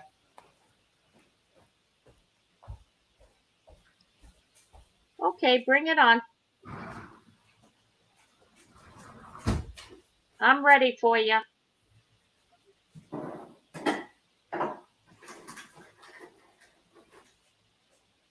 Rainy days and Mondays always get me down. That little booger butt, he just went out there and sniffed around and came back to the door. He just wanted a treat. Just ask for a treat then, Hank. Oh, Because when he comes in from outside, we always give him a treat. so he just wanted a treat. He didn't need to go out. No, he didn't. No girlfriend? No, she must not be out. My husband sent me um, a picture of a mini bulldog diamond that he saw at the um, at the ball diamonds. Oh. He is so cute. His name's Wilbur. Oh, I I like him- that. Yeah, me too. Me too. I told my husband, I go, I want one. Oh, I want a mini one, not this horse I have in the house. yeah. No, I love Hank. Hebrew Hammer. Shabbat Shalom. Hey, Hebrew Hammer. Oh, I wanted to say hi to uh, Pink Flamingo too. Welcome to the chat.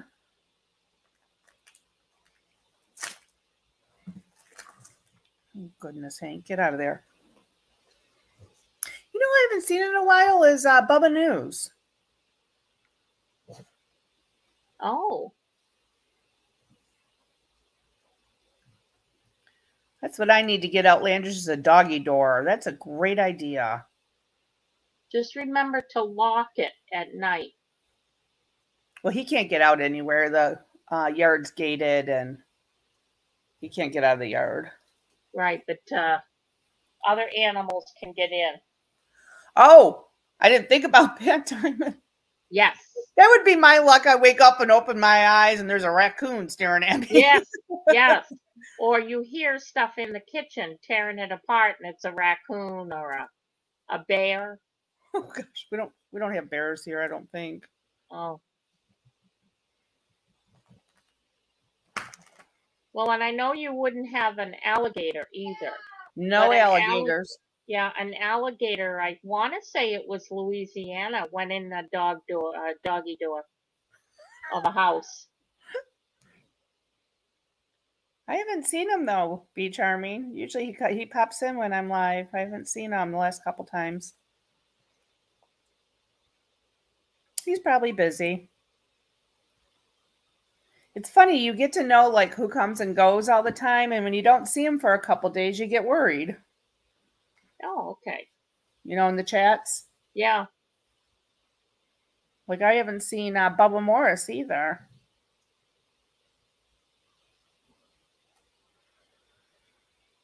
The two bubbas may be hanging around. The two Bubbas are probably Bubba lishing it up. Yeah.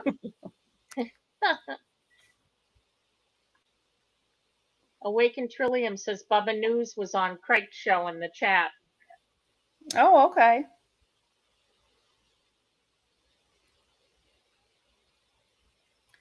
There's Wolfpack. Hey, Wolfpack. All right, Mr. T.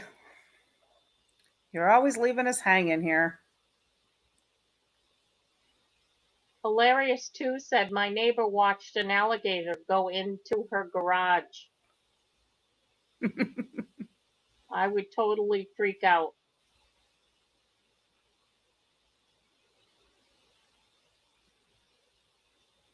Diane Venezuela wants to know where are the flags?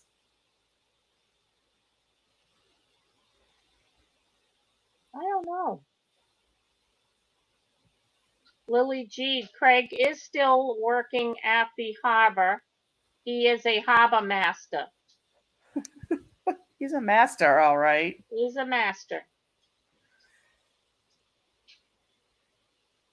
Honey was at, uh, in Diamonds this morning. Ann Creighton. Honey, honey, do do do do do. Yep, uh, she was in my show, and then um, uh, she does come in um, in the uh, videos and says that she's playing catch up. So if she can't find, if she doesn't see them, uh, she will watch the uh, the video.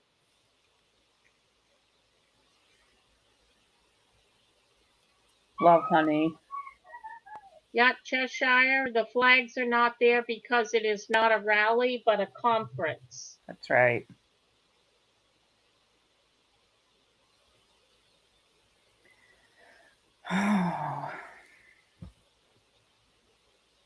Awaken Trillium says prepping 101 only on the weekends for now. Wow.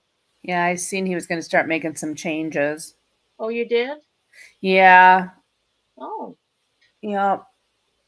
I don't know. I heard something about he got in a, an accident or something. I'm not sure exactly what happened, but he's.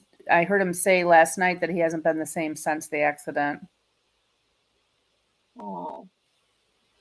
Well, he got into an accident? That's what it sounded like to me. Maybe somebody can confirm in the chat, Oh. but Yeah. I only I listened for a few minutes. Yeah, I haven't been in a show for a little bit. I, oh, two blogs. One says during Hurricane Ida, about two miles from my home, the water rose in lower areas, and a man went to his shed to get something and was eaten by a large gator. You're breaking up Oh. again, Diamond. Oh. I don't know what's going on. I don't know either. There's a second part to hers too. There you go.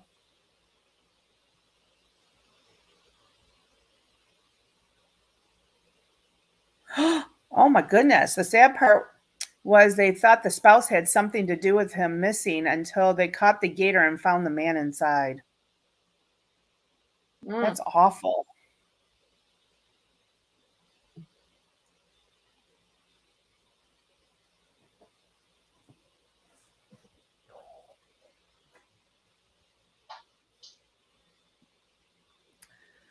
Oh.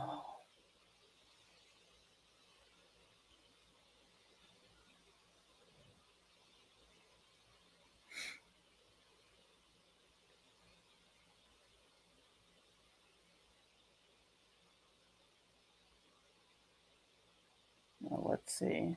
What if P. Charming said something else before that? She said he's been so stressed since and never did go get checked out. Sounds less physical and more mentally stressed. Yeah. You know, something like that, you know, can cause PTSD, uh, you know, a car accident. Yeah. Um, well, Mm. He wasn't seriously injured, so that's good. Yeah. I'll tell you what. I don't know what it's like across the country, but here in Michigan, people can't drive anymore. There are accidents at least five or six a day around here. it's uh, and they did pass the law now though you can't have your phone in your hand anymore so hopefully that'll help cut down on some of it because driving around here all you see is people with their phone in their hand just scrolling through stuff and driving. It's crazy. I did see a guy the other day on my way to work though. He had his phone in his hand and i'm like you're gonna get a ticket? That's against the law. Put your phone down.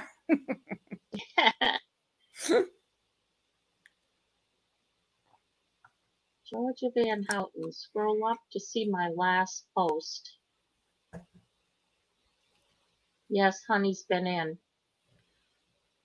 I agree. If I move to heaven, if I move home, who said that what I've left instructions. If I move home to heaven, please let at Diamond know. Georgia, you're not planning anything, are you? No way, not Georgia. Maybe she just meant if something happens to her because she's no, she said no. Oh, yeah. She says people get burnt out. Yeah. She's just, I think she lives alone. And if anything Okay. happens, if somebody finds right. her, They're gonna let me know.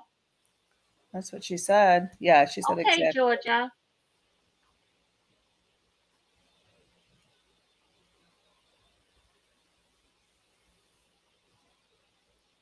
You're right, Joy. They always uh, suspect the significant other first. I watch IDTV a lot, you guys.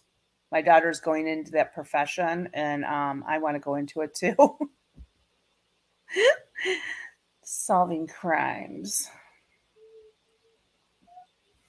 But yeah, they always take the spouse or immediate family first to look at. Which Nikki G. frustrates me. Oh, go ahead. Oh no, I was just gonna say Marilyn Ponomarenko says, "Come to California. They're nuts driving." Yeah. It's crazy here. I'm telling you, there was an accident out here on one of our freeways not too far from me. And um and, and this is another thing. So we have this guy that goes around uh, in our county and every accident stuff, he posts everything on Facebook. It's a scanner for our county. Mhm. And this car, I have no idea how anybody survived, and uh, it was horrific, Diamond. And they and then he takes a picture of these two women sitting in the middle of the freeway, and you see a guy handing them stuff out of the car. It was it's just heartbreaking. It's like can't people just leave it alone and not put everything all over social media? It just Yeah. it, it really bothers me. If that was my child that was involved in that accident, I would be so mad if it was plastered all over fa- or um, Facebook. There's a time and a place to put things on Facebook, and people are are putting things that I don't think should be there. I agree. You know, lots of motorcycle accidents, and then you'll have people commenting, "What color was the motorcycle?" You know, and then they're you know they're worried about their loved ones, and it's just horrible.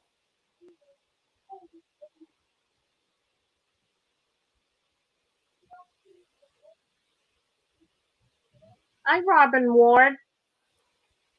Hey, Robin, good to see you.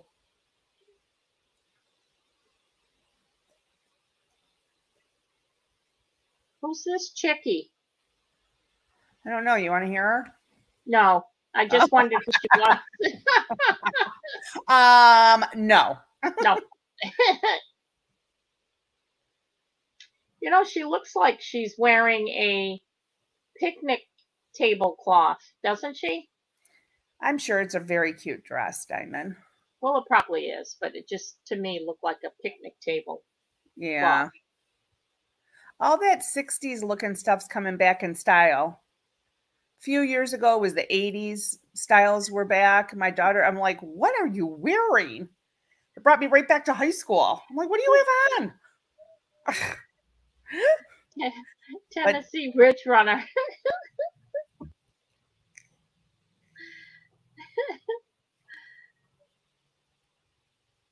oh, the old debater, eh? He's a master debater. I bet.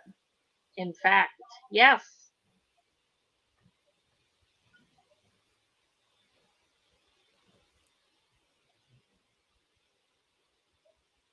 Anyways, it reminds me of something like Sally Fields would have wore back in the 60s, her dress. Yeah. That's what it reminds me of. Yeah. Yep, bell bottoms are back, Vicky Soros. You're right. Told you the 60s is back. Jersey Joe says that's Jill's Jill's sister.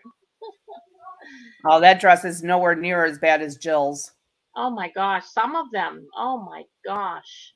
That that's grandma's curtains or her couch cushions or something. hey, Lori H. Staying alive, staying alive. Mm. Ah, ah, ah, ah, staying alive. Be Mitch, hi. Zoe Bonnie, hello. You know, all those people are sitting there waiting for Mr. T. You know, he oh, he really should get his bottom moving. Cheshire's Insight, hi. Hey, Cheshire. All right, let's see what he's saying. On the first phone call, I said, Will you come and talk to 6,000 people in Palm Beach? And he said, Absolutely, I'll be there. And some other candidates, they don't, uh, they don't work that hard and they don't believe in the grassroots like he does. The 45th president and hopefully the 47th president. Enjoy this video, President Donald J. Trump. He's on video. What? We can now project the winner of the presidential race. Oh, maybe they're showing the video the presidency. First. What started off as unlikely, impossible, is now reality. I will fight for you with every breath in my body and I will never, ever let you down. We have a president who actually fulfilled the promises he made during Trump, the campaign, securing the border to foreign policy. He now has a record as president that's pretty damn impressive. Breaking news out of Palm The FBI has executed an unprecedented search warrant at President Donald Trump's Mar-a-Lago estate. The former president has both sides of the political aisle up is in a arms. dangerous and unstable moment in American history. The Justice Department has just indicted former President Donald Trump. For seven years, they hated him, they targeted him, they hunted him. This is the epitome of the abuse of the prosecutorial power to preempt political decisions. I never thought anything like this could happen in America. The only crime that I have committed is to fearlessly defend our nation from those who seek to destroy it. The more that a broken system tells you that you're wrong, the more certain you should be that you must keep pushing ahead. They want to take away my freedom because I will never let them take away your freedom. They want to silence me because I will never let them silence you. They're not coming after me, they're coming after you, and I just happen to be standing in their way, and I will never be moving. On November 5th, 2024, justice will be done. We will take back our country and we will make America great again. America will always rise to every challenge and overcome every danger Donald Trump uh, seems to always get stronger when challenged. These types of things, I think, give him strength. When I'm reelected, I will totally obliterate the deep state. As long as we have pride in our beliefs, courage in our convictions, and faith in our God, then we will not fail.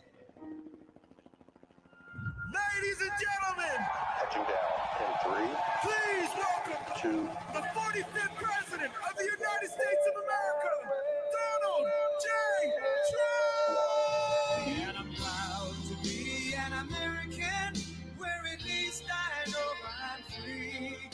And I won't forget the men who died, who gave that right to me. And I gladly stand up to you and it hurts still today.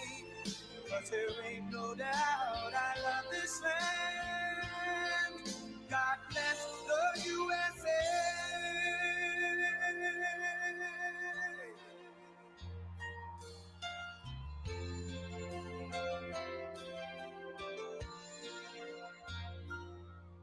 From the lakes of Minnesota to the hills of Tennessee, across the plains of Texas, from sea to shining sea, Detroit down to Houston, and New York to LA, where there's pride in every American heart, and it's time we stand and say I'm proud to be an American, where at least I know I'm free. And I won't forget the men who died, who gave that right to me. And I gladly stand up next to you and defend her still today. Cause there ain't no doubt I love this land. God bless the USA.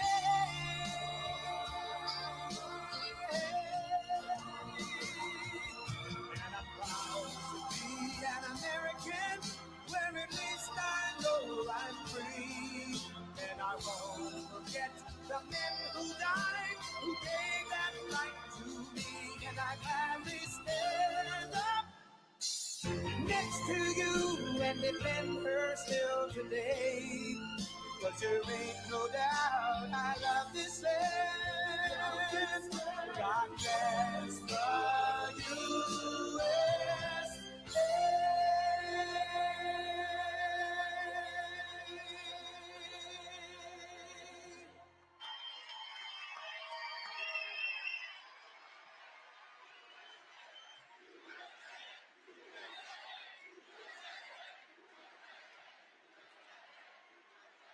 Thank you very much. And thank you very much to Charlie. I'm thrilled to be back with the proud young conservative patriots of Turning Point Action and Turning Point USA.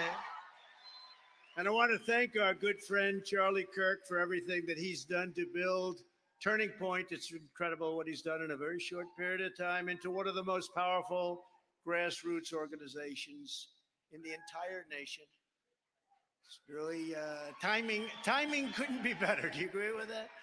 His newest project for mobilizing early voters will be a difference maker in the next election, and it's going to make them. It's going to make it a much more difficult job to cheat because we're going to swamp them. You know, when you start swamping them. But they cheat. They cheat. They'll do anything they can because they don't have policies open borders, no voter ID, high taxes, high interest rates. Uh, the only way they win is by cheating. We're also delighted to be joined by Representatives Matt Gaetz. Where's Matt Gaetz? I love Matt. Where is he? He's great. Thank you, Matt. Thank you, Matt. No, I'm glad you stayed, Matt. I'd be very disappointed. Now, he's a great, great gentleman and a brave man, too. I will tell you that. Anna Paulina Luna. Anna, thank you. Very great job. I watched those speeches. Another man that uh, is going places and he's going places fast. Spectacular person, friend of mine, Byron Donalds. Byron. Byron. Thank you, Byron. I can't miss him. I can't miss him. Big and strong. A man running as a candidate, Republican candidate. I think he's going to do very well too. A state that we won by a lot twice, and that's the state of Ohio. We love Ohio and we love Bernie Moreno. Bernie, where are you, Bernie? Bernie Moreno. Bernie, I hear you're doing well. A man who's gone through hell but he's kept going and he's smart and he's strong and people love him. Not everybody, but people love him and respect him. Roger Stone. Where's Roger Stone?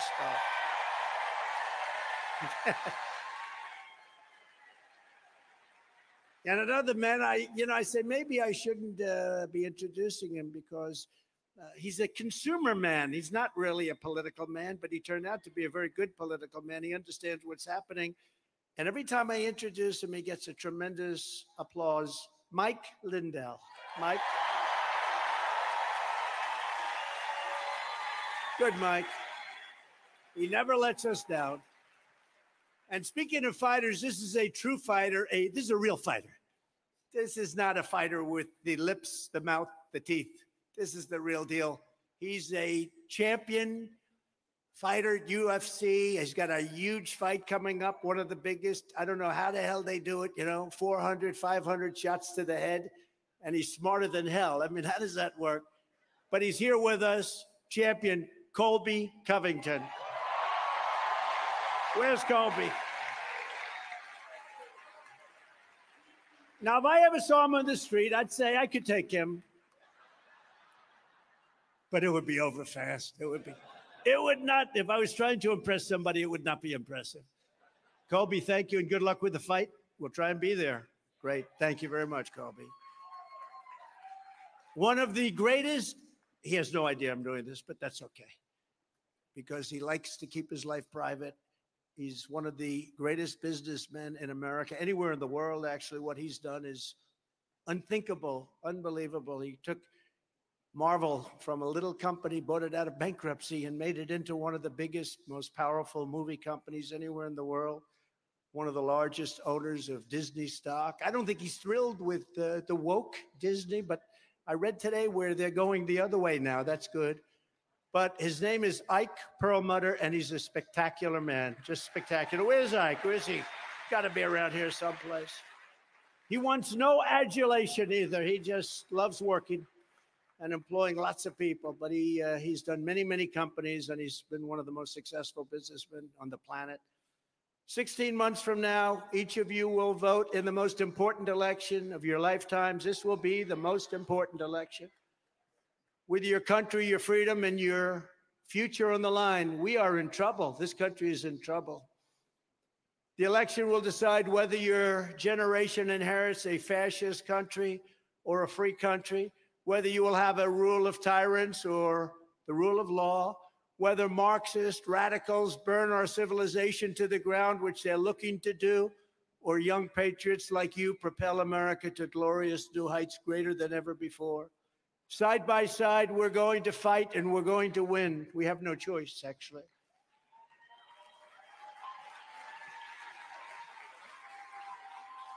We're going to evict crooked Joe Biden. You know, I took the name off of Hillary. You know that, right? Everybody here knows that. It was crooked Hillary. I was very successful. But I think she's out of it now. But no, I thought it was more appropriate uh, because he's crooked as you can get. This is the most dishonest president in history. And I wouldn't have said it. You know, I have I have pride in the presidency and respect for the presidency. I wouldn't have said it. But I say things about him over the last three weeks that I would have never said before about any president. Uh, he is a corrupt, horrible, incompetent man, and he's destroying our country, and we have to have it changed. And with God's help, we're going to save America on November 5th, 2024. And when I said originally in 2016, it's the most important election, I meant it. This is far more important. This is far more important because our country is ready to go down, ready to go possibly into World War III. And this won't be a war like others. This will be a nuclear war. And the level of destruction, it's called obliteration. It's not two army tanks going back and forth shooting at each other. This is big stuff. And we have a man who's grossly incompetent, who doesn't even know where he is, who can't put two sentences together. And this is the man that's telling us what we're going to be doing. Under Biden, hope and opportunity for young people, so many young people here, are being utterly extinguished.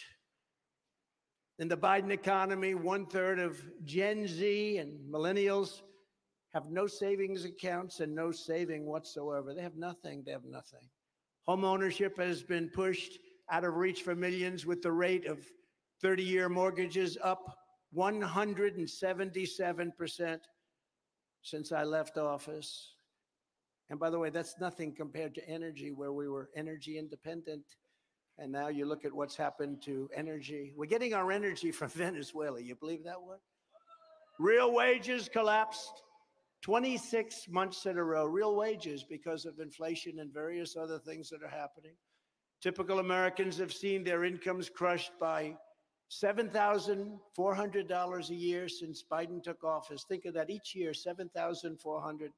That comes out of very, very official offices. This is the number, the biggest pay cut in many decades. Nobody's really seen anything like it, I don't believe. Millions of illegal aliens have stormed across our borders. It's an invasion of our country. That's an invasion just like a military invasion. Our rights and our liberties are being torn to shreds, and your country is being turned into a third world hellhole ruled by censors, perverts, criminals, and thugs. But as I stand here tonight, I know that the young conservative warriors, and you are warriors of Turning Point, will never let this happen. You can't let this happen.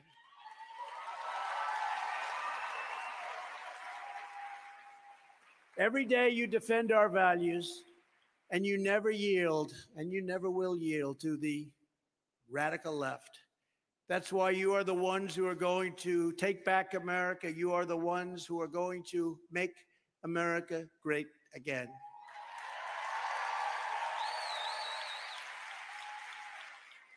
From the earliest days of our republic, every generation has been called to defend America. You always have that defend, but people say it not with the bravado that they say it now, because now they really mean it. We're in big trouble. Today, the greatest threat is not from the outside. The greatest threat is the sick, sinister, and evil forces trying to destroy our nation from within. If you have the right leadership, China's not a problem. If you have the right leadership, Russia's not a problem. They would have never done what they did. Believe me, they would have never done.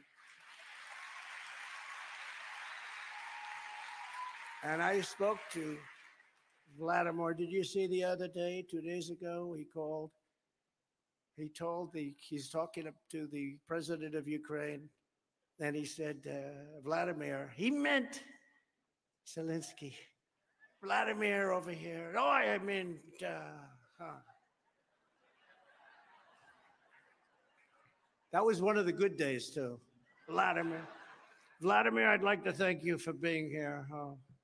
Actually, he didn't know he made a mistake. They had to tell him.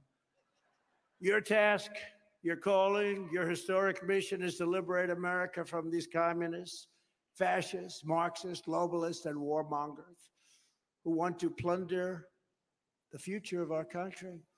And that's exactly what we are going to do together when we all together become the 47th president of the United States of America.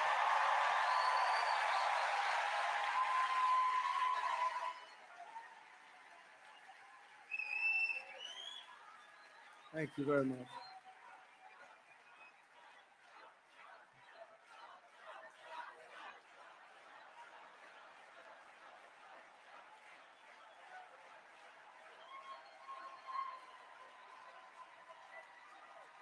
And by the way, Charlie told me this is the biggest crowd they've ever had, and uh, they had a larger room because a lot of people outside that filled that. Uh, this is the biggest crowd, and I think you loved our four years, but I also think I've, you've watched the last three years, and you draw a comparison, it makes it even more so. But uh, I do appreciate it. But it's a record crowd, and uh, that's great. And I'm very happy for Turning Point and Charlie and everybody else. They've come a long way. They've come a long way. I will quickly stop Joe Biden's inflation nightmare, worst inflation in many years. They really don't know how many. They say 52, but I think it's much higher than that. Restore energy independence and bring down interest rates so that young people can once again afford to buy a house and a car, the basic American dream.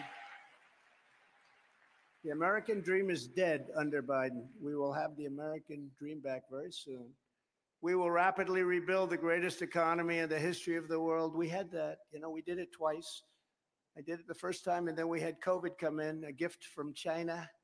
And that came in. And when I gave it up, we had a rigged election. And when I gave up the, uh, the reins, so to speak, uh, we had the stock market was higher than it was before COVID came. The day before COVID came, and we had a higher stock market, despite the hell that the whole world had to go through because of what came out of the Wuhan labs. And I used to say that the Wuhan labs, they used to censor me. They used to say, oh, that's terrible. It turned out to be we were right. We were right about a lot of things. We're right about almost everything, maybe everything. But we'll do that once again. After 50 years of leftist domination of the universities, I will take bold action to reclaim our colleges from the communist left.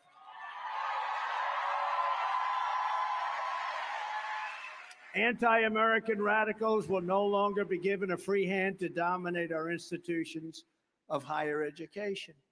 Using my leverage, and it's a tremendous leverage, and I used it before very well. You know, we put penalties on them if they wouldn't let conservatives or anybody speak. Big, big penalties. All of a sudden, everybody was invited to speak. I don't know if anybody knows that, but you sort of felt it. Uh, but it was very good. But it was somewhat artificial because they were doing it because they would have had huge monetary penalties. But at least we were getting the word out. Everybody should be able to speak. But using my leverage over college accreditors, we are going to choke off the money to schools that aid the Marxist assault on our American heritage and on Western civilization itself. The days of subsidizing communist indoctrination in our colleges will soon be over. And you know, I will say this this is a, I would say, very largely conservative group. I call it common sense group because I think a lot of conservatism is common sense. When they ask you for a definition, it starts with common sense. But uh, I tell them uh, very often that you will be shocked to see colleges, even the ones that you hear are most liberal, we have tremendous numbers of people out there. I think even more. They don't speak up as much, but they're starting to speak up. You know, when you see Bud Light and when you see all of the things that have happened, I mean, you take a look at that, they're down 37%. The company is, nobody's ever seen it. And you know, the, the radical left has always used that. They've used their buying power. They'd sort of name a company and go after a company. We've never done it. That just happened uh, by osmosis, actually, but it's also happening. I heard Target mentioned today and various others. And we have tremendous power to make sure that our country goes down the right tracks. We're going to smash the Marxist diversity, equity, and inclusion bureaucracies that are driving up tuition costs and sticking you with crushing debt and for any universities that want federal student loan dollars, we will also require them to offer real job placement and career services, as well as options for accelerated and low cost degrees. Uh, these institutions have gone up. The pricing has gone up more than just about any industry. You, you look at their costs and they drive them up because the federal government gives loans to everybody. So it's more expensive, but somebody has to pay back that loan, except under Biden. But the Supreme Court decided that that wasn't going to happen. My administration will strictly enforce last month's landmark Supreme Court decision to move our country forward with a merit based system of education. In other words, if you get great marks and if you've worked hard and you did all of the things, you're going to get into that college. Somebody with half of the energy and the marks and all of the things necessary to get in. That's what we have to have. We have to have our absolute most brilliant people. This is such a competitive world. We have to have our most brilliant people going to the most brilliant schools and universities. And now that's what we have. These are these are some of the things that we've done for this country, and they are big, and a lot of them people didn't think would happen. And if colleges persist in continuing to violate your civil rights, we will have their endowments severely taxed and fined, and a portion of the seized funds used as restitution for the victims of these racist practices. They're really racist practices. In addition, I want to close the Department of Education and move education back. All right, we're back here. Now the president speaking about education. Obviously, we're a turning point event, and it's just fitting that we, you know, 50 years of. That's a big thing. You know, we have the worst education system just about in the world. We spend more per student by double and triple than any other country. And yet we're ranked at the bottom of the list, like out of a, group of 40 nations, we're 38, 39. And yet we're double and triple per pupil the cost. We're going to move it back to the states, let the states. We'll have a little tiny, tiny little, just to make sure they're teaching everybody English, you know, a little bit of guide. We want to make sure they're teaching English, but uh, a little tiny coordination, but not much. Like about, how about an office the size of this podium, one person. Nevada, you got to do a little bit better. No, we're going to do a job. We're going to do a job and we're going to have great education. And, you know, it's uh, much more pinpointed this way also. And The parents can be much more involved. It's not this big bureaucracy. And then we'll be able to sell all those buildings that are occupied right now for so much money. So much money. Pay off debt, pay off a lot of the debt, and we have plenty of it. Under my leadership, we will bring back free speech in America just last week. We've had some amazing rulings, you know that. Just last week, in a historic ruling, a brilliant federal judge ordered the Biden administration to cease and desist from their illegal and unconstitutional censorship in collusion with social media. In other words, the election was rigged. Just that's just another way of saying that's just another way of saying it. You can say stuffing the ballots, and we have that too. We have everything you can have, but that's another way of saying. In fact, they did a report, some of the great pollsters, Fabrizio and McLaughlin, and some of the great ones, and they said anywhere from 10 to 17 points difference because of what they were allowed to do. So that was a rigged election in so many different ways. A lot of this is just coming to light. Uh, if you saw the FBI Twitter, if you saw what happened with Facebook, DOJ, uh, terrible, terrible thing. If we don't have free elections and great elections and honest elections where everybody believes in the election and we don't have strong borders, we don't have a country. And we're going to bring our country back. We're going to take our country back under the next Trump administration. The censorship industrial complex will be defunded, dismantled, and destroyed. We're going to destroy it 100%. And any federal bureaucrat who had a hand in illegally silencing the American people will be fired immediately. Is that okay?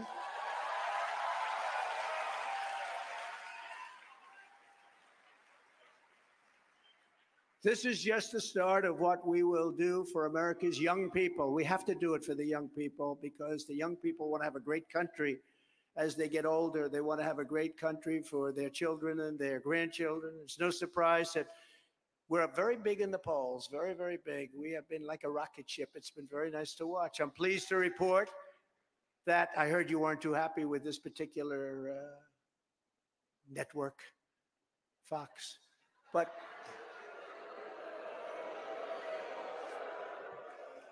But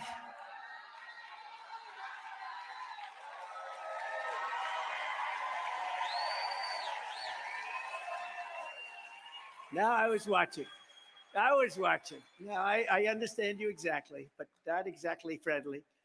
But in the Fox poll that was just released, which is which makes it even bigger if you think about it, we lead the field by 50 points among young voters. Think of that with Trump at 64% and a gentleman named Ron DeSanctimonious at 14%. He's at 14%. And I don't know why he's not here this couple of days, but he should be here. He should be here representing himself. In this week's morning consult poll of voters nationwide, it's Trump 56%, DeSantis at 17%. In Ohio, we're ahead by 44 points. In Tennessee, we're up by 49 points. In New Hampshire, we have a great team and we love those people. We lead by 37 points. And when asked who's the best to improve the economy, it's Trump by 54 to 18 in Iowa, 55 to 11 in New Hampshire, 59 to 12 in South Carolina, and 65 to 10 in Nevada. Kobe, that's where Kobe comes from. You hear that, Kobe? So they have plenty of money to pay you when you win your fights, which you always seem to do. Then we're leading Biden by a lot in the recent echelon poll of swing states. We're up by seven points over Biden. You know, it doesn't sound, it's actually a lot but it doesn't sound like much. You know, they have a natural advantage. Uh, they have certain states, rigged or not, I don't know. We'll figure that out at some point. But they have certain states, and it's seven's a lot. But we have another poll. We're up ten, we're up eleven, we're up nine, and we're up twelve. That's a lot. You know, hard to believe. That's a lot.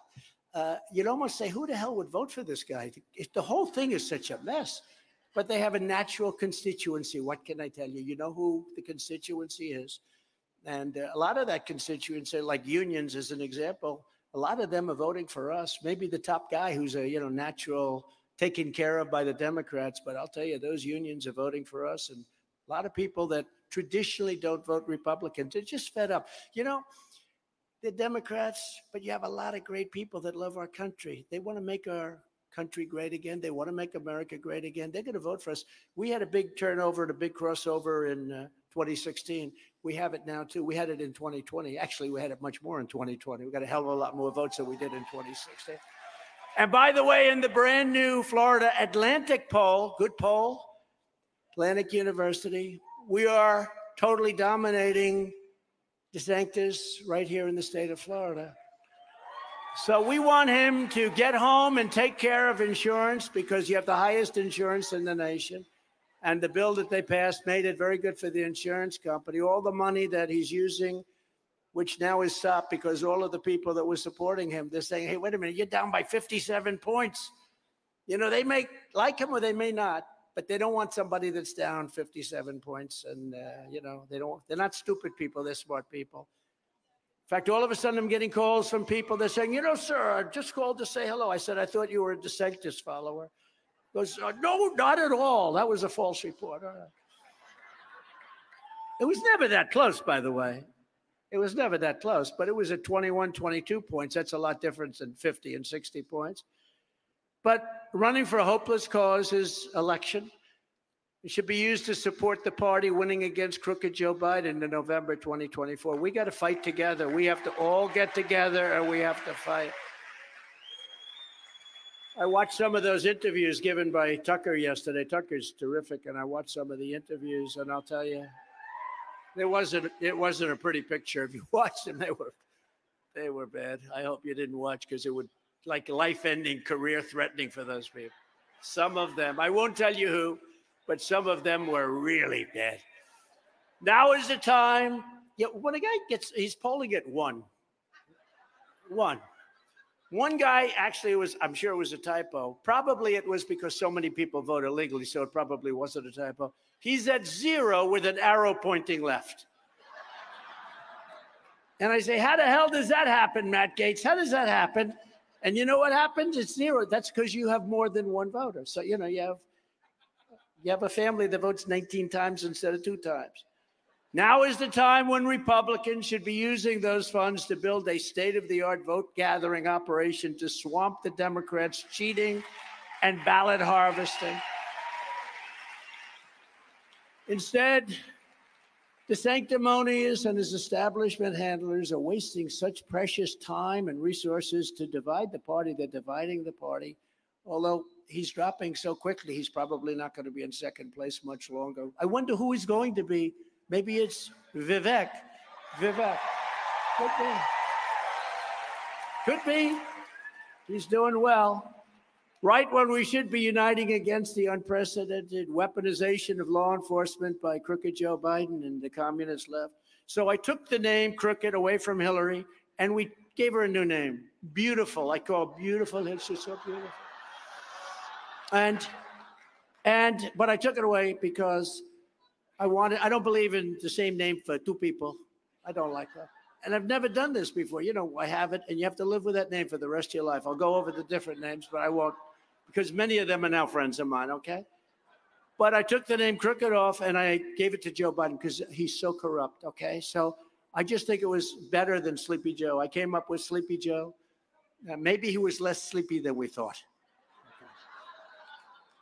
As you know, Biden recently ordered his top political opponent, oh, I think that happens to be me, indicted and arrested right in the middle of a presidential election that Biden is losing very badly.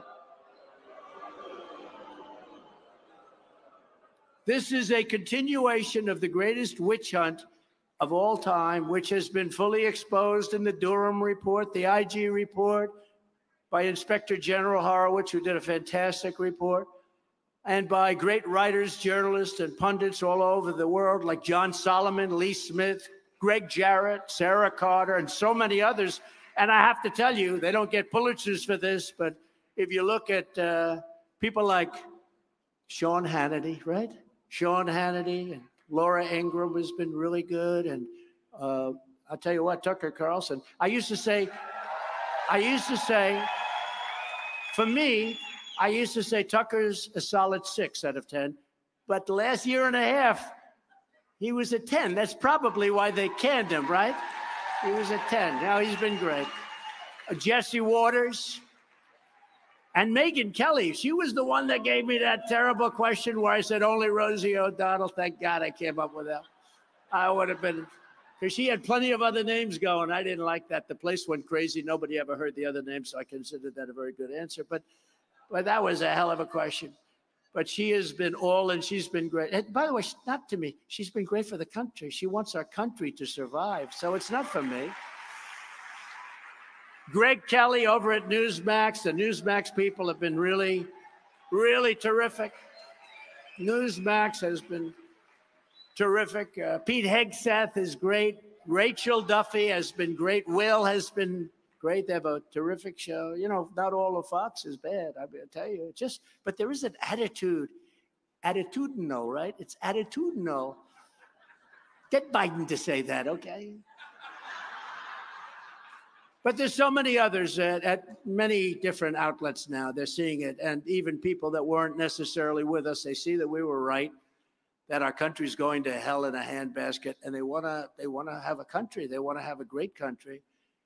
The primary purpose of what they're doing is also very simple, and it's uh, never been done in this country anywhere near like is happening now. It's called election interference. It's a form of cheating. You know, it's going to be hard for them to cheat the way they cheated when they used COVID to win an election.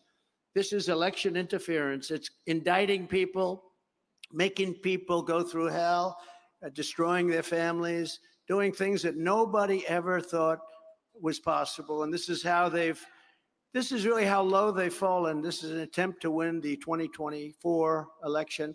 And so far, and I hope it continues, but so far it's had the opposite effect. I mean, it's really lifted us to new heights because people know it's all bullshit. Okay, they know it.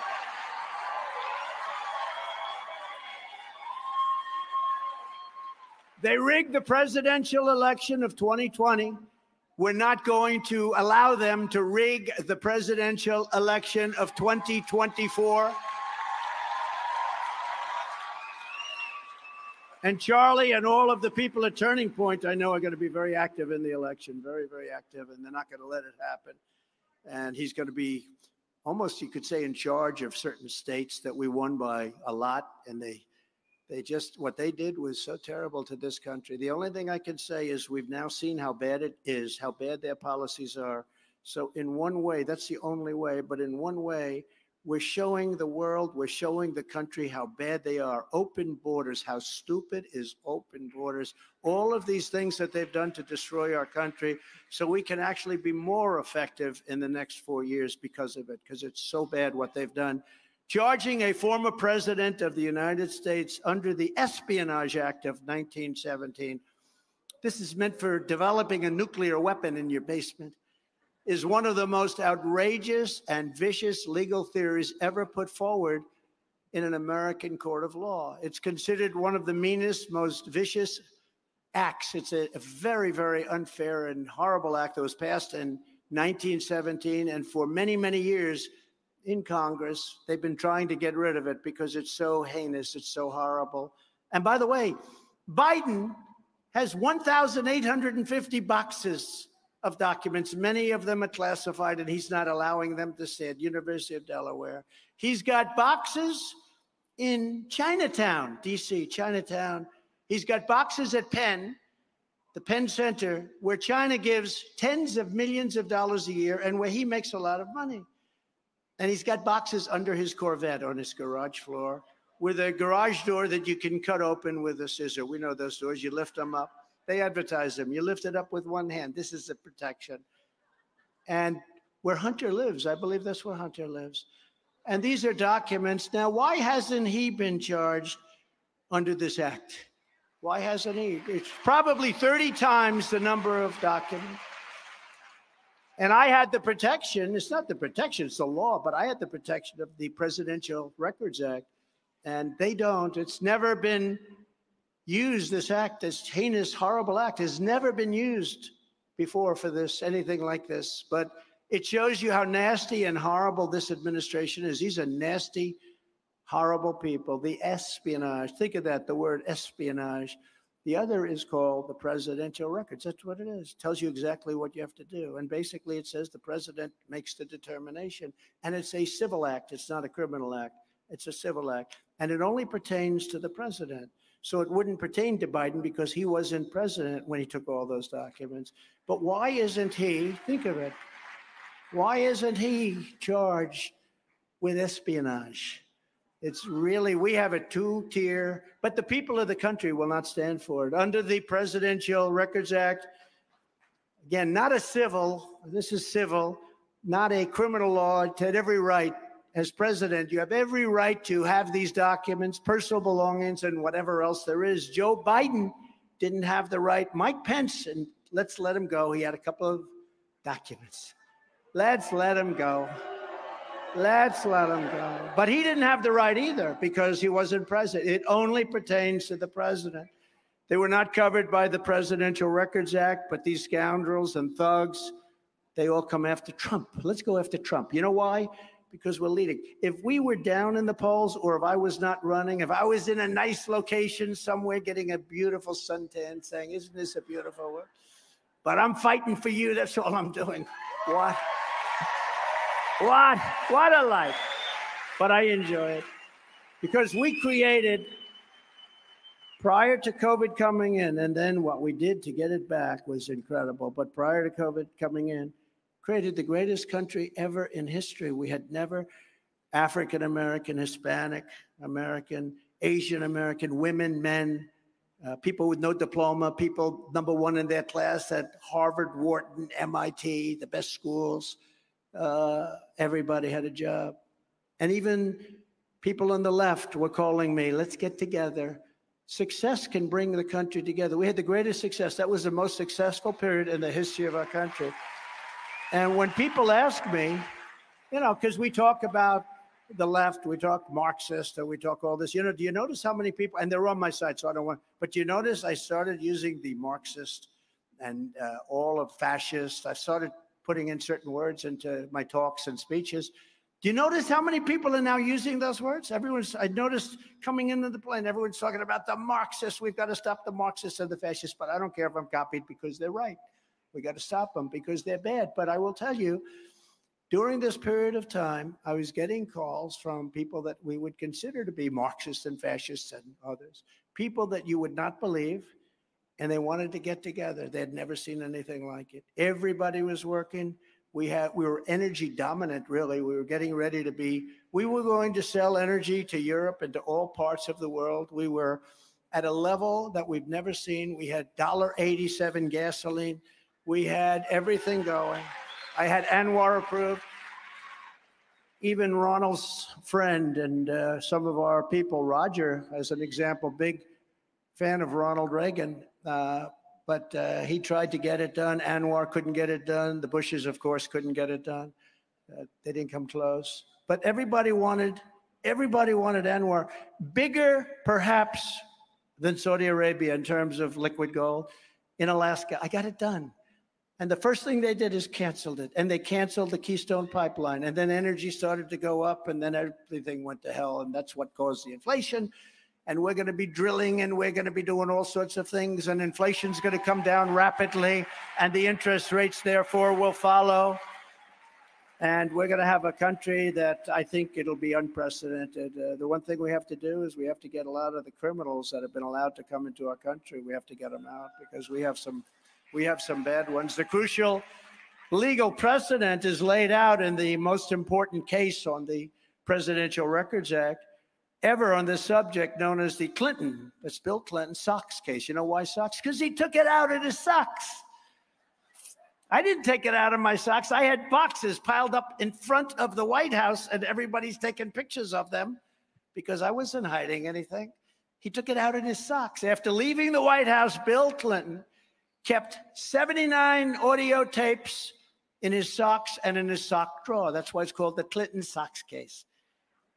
They included discussions of U.S. foreign policy options, both defense and offense against Cuba, the recordings of President Clinton's conversations with the biggest foreign leaders then in the world, sensitive facts about trade negotiations taken from presidential briefings, discussions with the Secretary of State about the conflict in Bosnia, which was a tough one, and so much more. Really big stuff. Took it out. These were recordings, took them out in his socks. They found him in his sock drawer. Nothing happened to him. Not only was Bill Clinton never even considered for criminal prosecution based on the tapes he took, but when he was sued for them, the government sued him civilly, not criminally. They didn't say you're going to go to jail under the Espionage Act. But when they sued him, he won the case.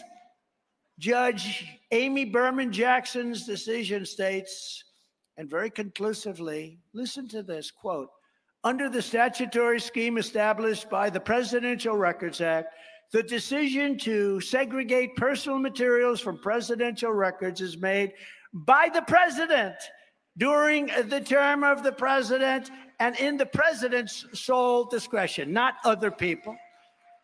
Any normal administration, even an opposing one, would consider that to be the end. That's the end of it. But not when it comes to Trump and not when it comes to a candidate that's beating their candidate by a lot. This has never been done before. In other words, not the corrupt Biden regime. The Socks decision also states, quote, the National Archives, listen to this, that's NARA, NARA, very left group, by the way. They have the Constitution of the United States and the Bill of Rights red flagged. You know why? Because they consider them to be dangerous documents. Okay. This is the group that's after me.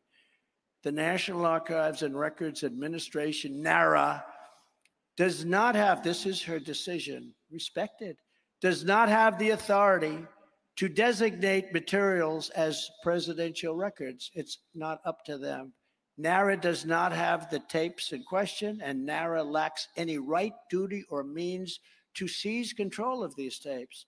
The president enjoys, quote, the president enjoys unconstrained authority to make decisions regarding the disposal of documents. Now, this is a law passed in 1977, Presidential Records Act.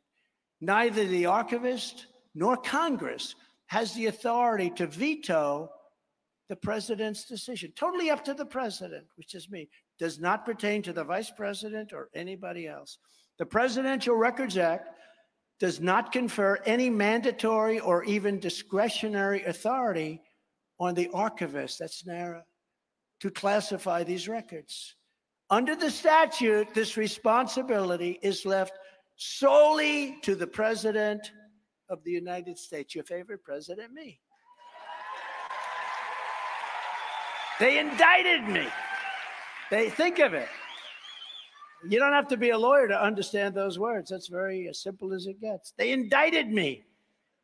In other words, whatever documents a president decides to take with him, he has the absolute and unquestioned right to do so. This is a law that was passed and signed and that's the law, and that's the way it is, and it couldn't be more clear. And I will quote from a paper that I would say has not been on our side too much.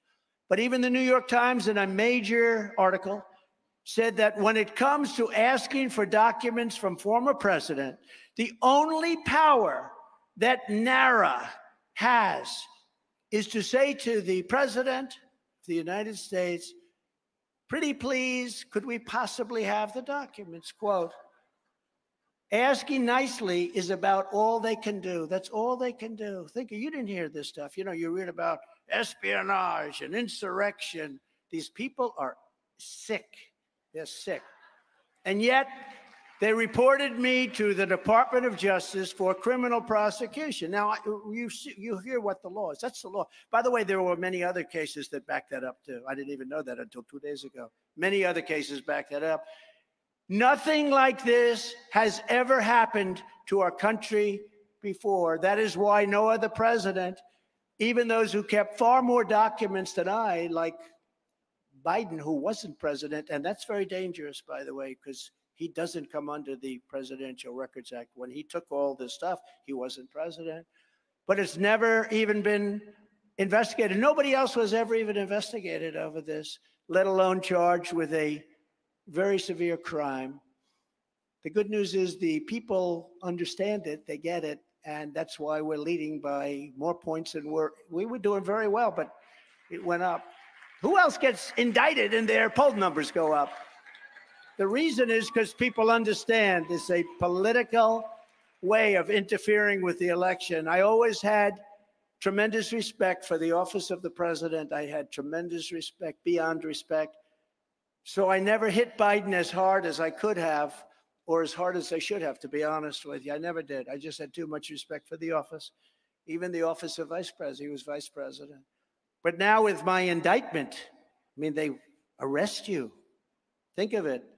They arrest your opponent in an election, an opponent that's winning by a tremendous amount over this person, and they arrest you.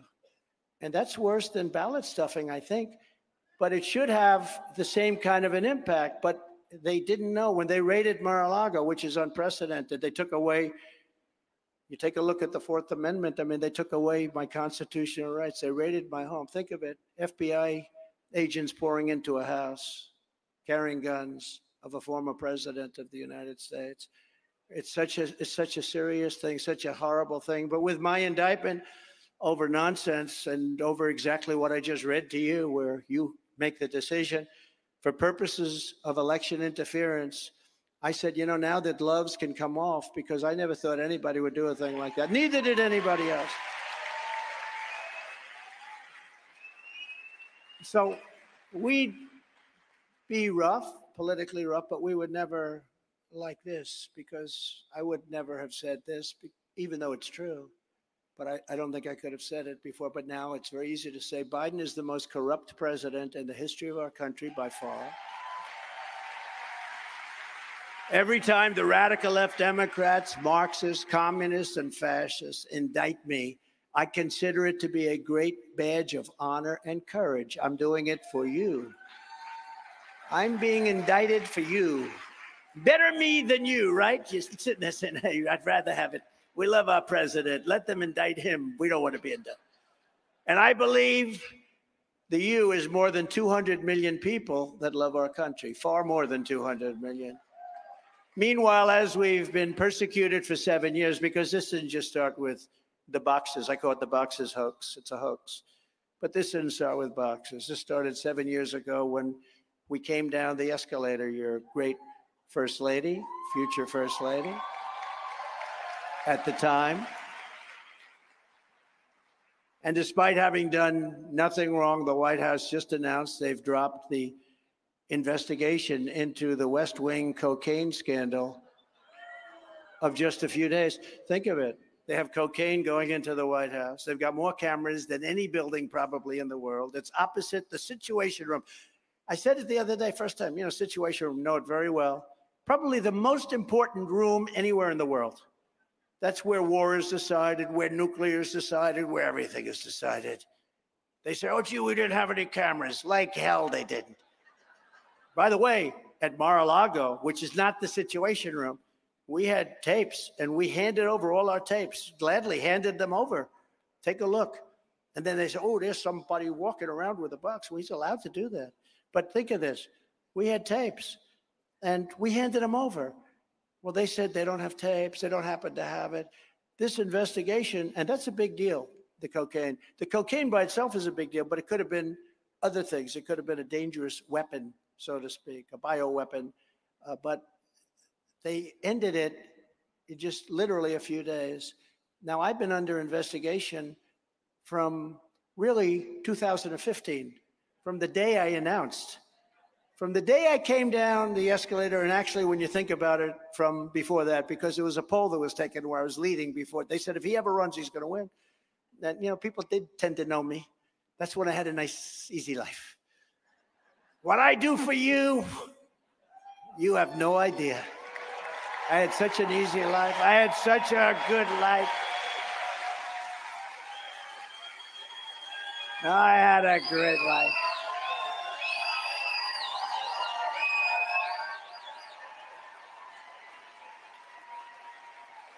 But I'm I'm very glad I did it.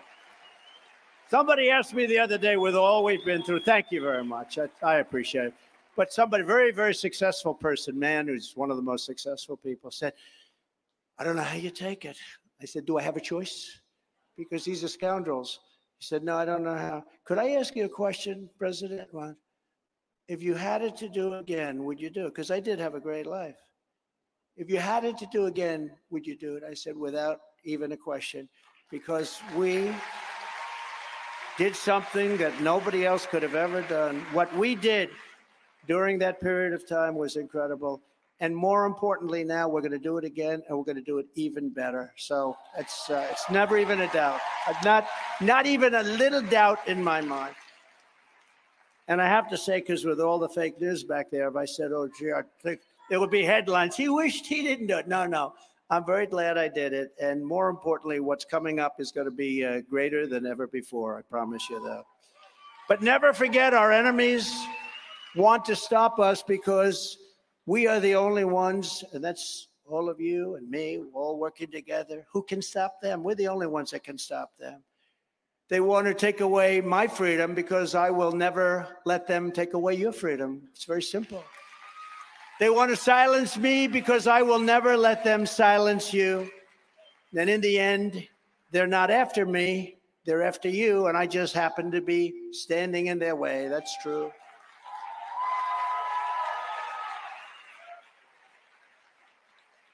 But I was starting to say a little while ago that uh, if I were, instead of leading by 30, 40, or 50 points or whatever, a lot, if I were, uh, I noticed Megyn, I saw her a little while coming in, it's on the television, and I, I was watching, she was great. And she said, You can't beat him. He's got like a 40 or 50 point lead. But, you know, if I didn't have a 50, let's say I was losing, or let's say I wasn't running, none of this stuff would be happening. None of it would. If I were if I were down by 20 instead of up by 50, uh, maybe I'd have to be down by 30 or 40. But if I were down in the polls, or if I wasn't running, if I didn't do this, I would not have any of this stuff. Uh, You know, they've they've mobilized the AGs and the DAs, and they actually in the New York DA they actually took their top man out of DOJ, and they put their top man. Do you know this, Byron? They took Byron, such an incredible guy, by the way. He made a good speech too. He made a good speech. He's got a big, big future. All of those three that I introduced have an incredible future. But uh, what they did is something that you just can't do. What they're doing is something that is just not permissible. And people were shocked. Even the fake news was very surprised. I promise you this that if you put me back in the White House, their reign will be over and America will be a free nation once again. It'll be free. I ran twice. I won twice. I did much better the second time than I did the first. It's true. Getting millions and millions and millions more votes a second time than I did in 2016, and likewise getting more votes than any president in the history, sitting president in the history of our country by far. And you know, I also had the biggest margin. You know, usually when, like Obama, he ran, he got much fewer votes, many fewer votes the second time. You know, when he was reelected, he got much less than he did the first time. Most presidents are like that. You know why? Because people get bored. They get bored with their president. You're never going to get bored with me, I promise you. That'd be so insulting. That'd be very insulting. But from a voting standpoint, no president has ever gone up that much. I went from 63 million, we got 63 and we won. I was told by the pollsters if you could get close to 63 again, you're going to win in an absolute landslide. Well, I didn't do that. I got close to 75 million, but that's what was reported. We got much more than 75 million, and we didn't win. Uh, so explain that one, but we won. And now we're going to do it a third time, and there are going to be no mistakes. We're going to be watching that. We're going to swamp them. One way you really, when you swamp them, you get so much. There's only so many ballots they can produce. And you know what I mean by that. So uh, we're going to swamp them. And I've never seen spirit like this. We've never had, you know, we had great spirit in 2016 and we'd have rallies with 25, 30,000 people. We had a rally the other day in South Carolina where we had over 80,000 people coming on just a few days' notice. It was incredible. And we had great support. You know, again, we got many millions of more votes the second time. We had tremendous support, tremendous enthusiasm. We have never, ever had enthusiasm. Even look at this crowd. We've never had enthusiasm like we have right now. And a big part of that is you see how bad they're running our country, how incompetent they are, what China's doing to us, what everybody's doing to us. The country is laughing at our leader. They think he's a gross incompetent, that he doesn't know what he's doing, and he's totally corrupt. Other than that, he's doing a wonderful job, isn't he? What a, what a, it's such a sad thing for our country to be represented by this guy. I was watching his recent meetings over in Europe, and he doesn't know where the hell he is. He's on a stage, and he wasn't too sharp 30 years ago. Okay. He was not the sharpest one in the pen. Just think of what we already accomplished in four incredible years. We delivered the largest tax cuts and regulatory cuts in history. And likewise, we built the greatest economy ever in the history of the world. China was going to catch us for 20 years. 2018, China was going to overtake us. We we were doubling up. We were so far ahead of them, they never had a chance. And if we had a smart president, they would never be able to take us. We achieved energy independence and energy dominance was going to be there right around the corner for the first time in about 78 years. I think probably more than that. I don't think we were ever dominant. We created the most secure border in U.S. history, built nearly 500 miles of border wall. I hear this sloppy Chris Christie guy. He said Trump only built 47 miles of what not before. Then they checked with the Border Patrol and the people that do that. Almost 500 miles of wall. And remember this. Remember this. I said Mexico is going to pay for it some way. They gave us 28,000 soldiers free of charge. That's more than any wall. That's more. And they did that for years because while I was building the wall and Congress fought me tooth and nail, including some Republicans, they fought me like Mitch McConnell. They fought me tooth and nail. And I ended up taking the money out of the military. I took the money out of the military because I considered it an invasion of our country. And we built almost 500 miles of wall. And then I said, we completed that job. And I said, you know, we're going to need some more because people are coming around other areas. So we ordered 200 miles of additional wall. It was ready to be installed.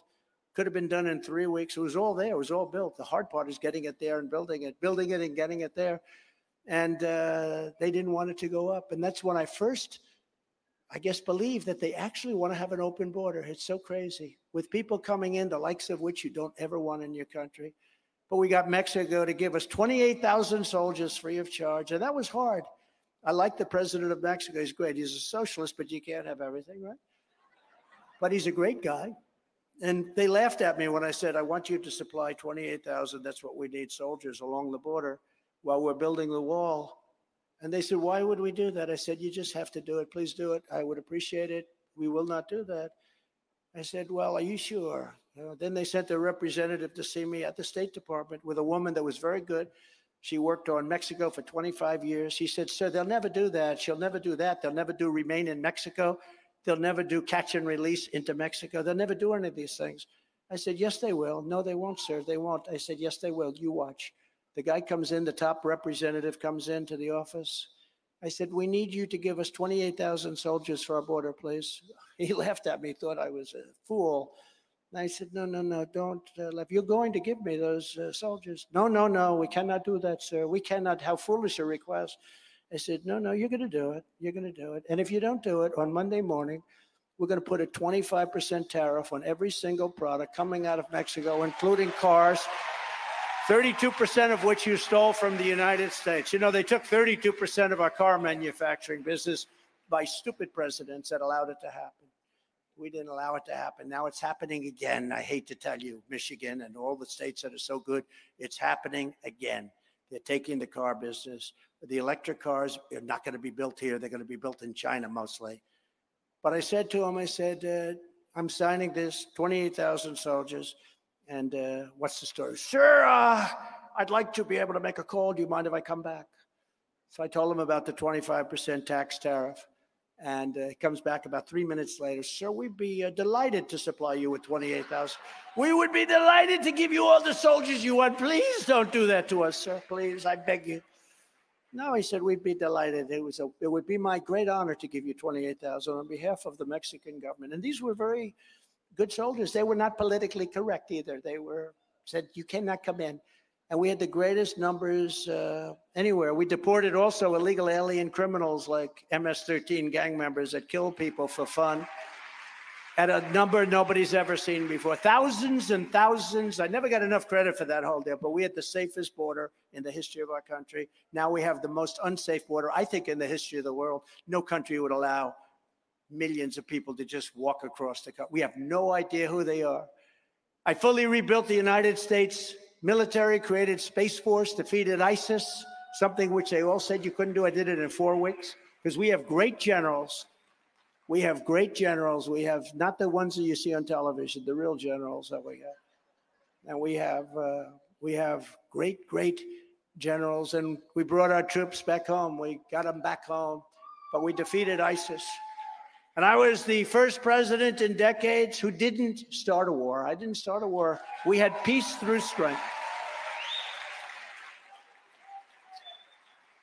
As I was building that military, we got more and more bravado going, but they respected us. We did a great job. But we do. We have great soldiers. You know, it's very important for you to know that we had a case with ISIS. I was told it would take three or four years to defeat ISIS, and we had a. Uh, I wanted to see because I couldn't understand it. You know, they're great fighters, by the way.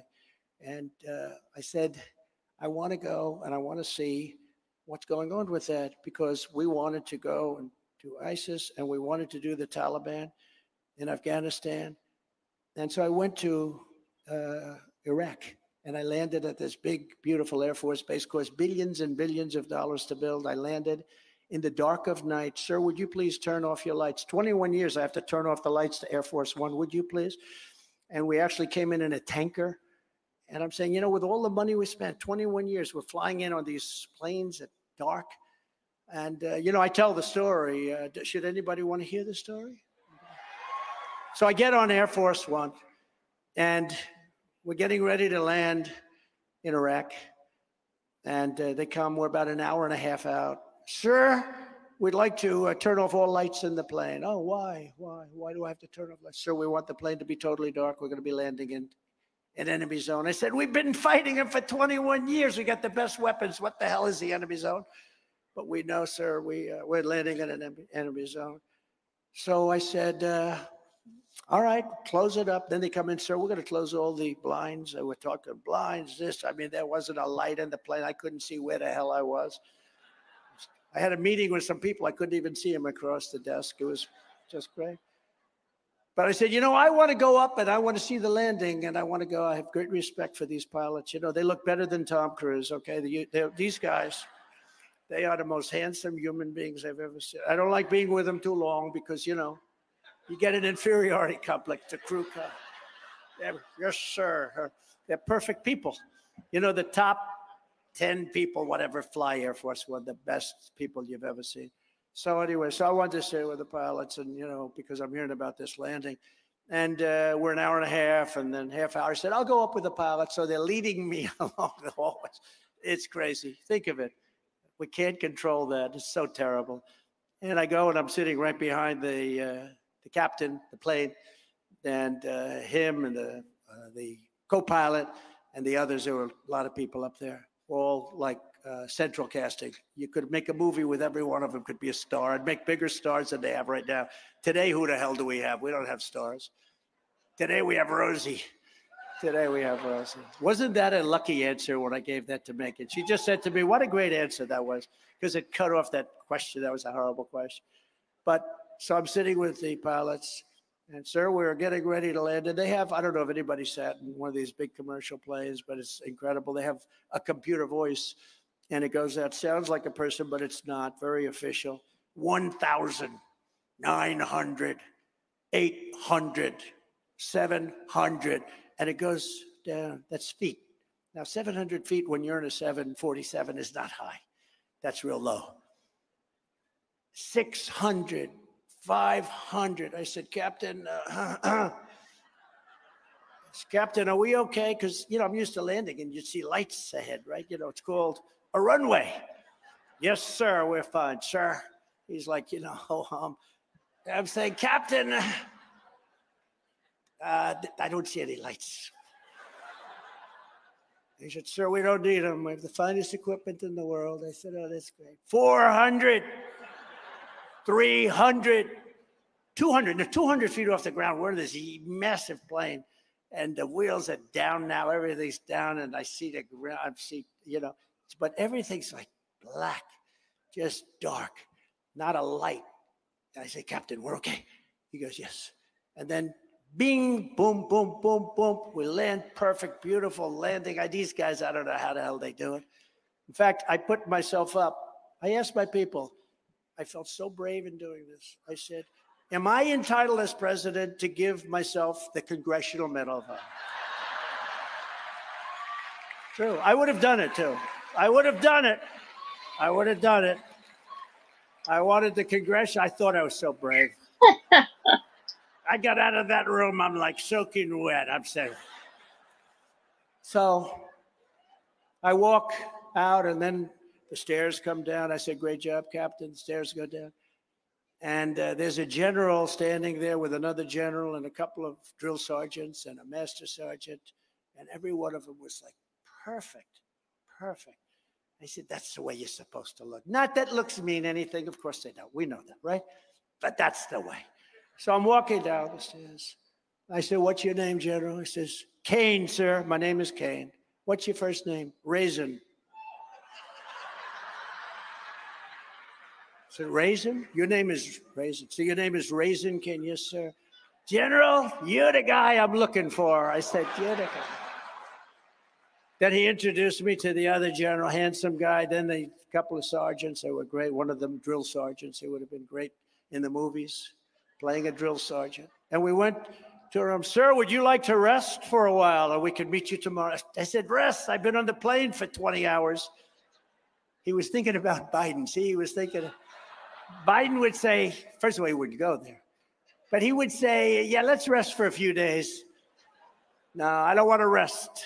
I want to go and find out what's going on. So we met with General Raisin Caine and a whole staff. I said, So, General, let me ask you this uh, question. We've been fighting ISIS with the best weapons in the world. We've been fighting them for many, many years, decades, and we don't seem to win. And I asked a couple of our Washington generals, who a couple of them I fired. You know that I fired them because I thought they were incompetent. But I asked a couple of our, they were incompetent, by the way. I asked a couple of our generals, why is it that we can't defeat ISIS? We have the best equipment in the world. We have the best weapons in the world. Nobody even close. We have things that nobody uh, that I won't talk to you about. But we, unlike Biden, where he tells everybody we have no ammunition. How about that one? We have no ammunition, but we're going to give more. Oh boy! By the way, that's classified information. You know that, right? I wonder if they're going to prosecute him for that. What a stupid thing to say, though. If you're running, you know, what a stupid thing to say to say you have no ammunition. So I said, so General, they're telling me it would take years to defeat ISIS, and they're not sure they can do it. Uh, what do you think? Sir, we can have it done in three weeks. This is Raisin Caine. I said, I said, General, explain that, please. Well, sir, when we were here, we only attacked from this base, and this base is very far away. By the time we got there, we had to come back. But we have many satellite bases, and we have other bases in the area. And, sir, we'll hit them from the front, and we'll hit them from the back, we'll hit them from the left, the right, We'll hit them from above and we'll even go underground if necessary. We'll hit them from so many locations, sir, that they won't know what the shit is happening. True. And I said, uh, How sure are you of that? He said, Sir, three weeks, maybe four, but you'll have time left over. Now, you have to understand, I was told in Washington this thing would take years and years. We've been fighting it for years and years. That's why I went to Iraq to find out why can't we win? Why can't we do this? Why can't we defeat ISIS? Okay, the ISIS caliphate. And so I said, General, I'll speak to you during the week, and uh, I appreciate what you told me. And we stayed there for a little while. We had uh, lunch and dinner with the troops, and then I got back on the plane and we left, and I came back, and then on Monday or so I called. I said, "You sure you can do it, General?" "I'm sure, sir. We can do it, sir." I said, "Good, General. Let's go do it." And he just went wild.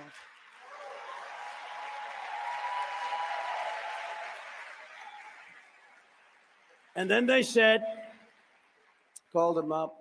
I said, I heard you're making great progress. Yes, sir. We're going to have time left over. I told you that, sir. I said, uh, so what's the status? Well, we have them all cornered now. We have a lot of them cornered now. I would like the uh, approval to take them out. I said, you know, these are human lives you're talking about. No, sir. They're scum, sir. They're scum. They kill our people. They kill a lot of people. They kill their own people. They're bad people, sir. And I mean, again, I, you know, I'm telling you this story because we have a great military. Because you hear these buffoons that can't get out of Afghanistan. They take our military out first. They leave 13 dead soldiers, and what they don't tell you is how many were horrifically wounded. Their face, their arms blown off. Their, and these are incompetent people. I didn't lose one soldier in 18 months in Afghanistan, not one. So I said to him, So, General, what do you want to do? Take them out, sir. Just give me the order. I don't know, General. How about surrender? Do you think they'll surrender, sir? They don't know what that means. They don't know what a white flag is, sir. They don't surrender. You know what I'll tell you, General? Fly over them a few times with those big, beautiful X 16s. The F 16s, they're very scary. I said, just go fly over them and maybe you'll get them to surrender. They won't surrender, sir, but I'm going to do that. So a couple of days later, he said, Sir, we flew over them and they're not doing anything other than they want to fight. And I said, Then what you have to do is you have to do what you have to do. And he did his job. And I'll tell you what, uh, we defeated 100% of the ISIS caliphate. And I said, Now you can come home. Come home, General. Come home. I tell you that story because it's important for you to know our military is great. We just have incompetent leadership, grossly incompetent.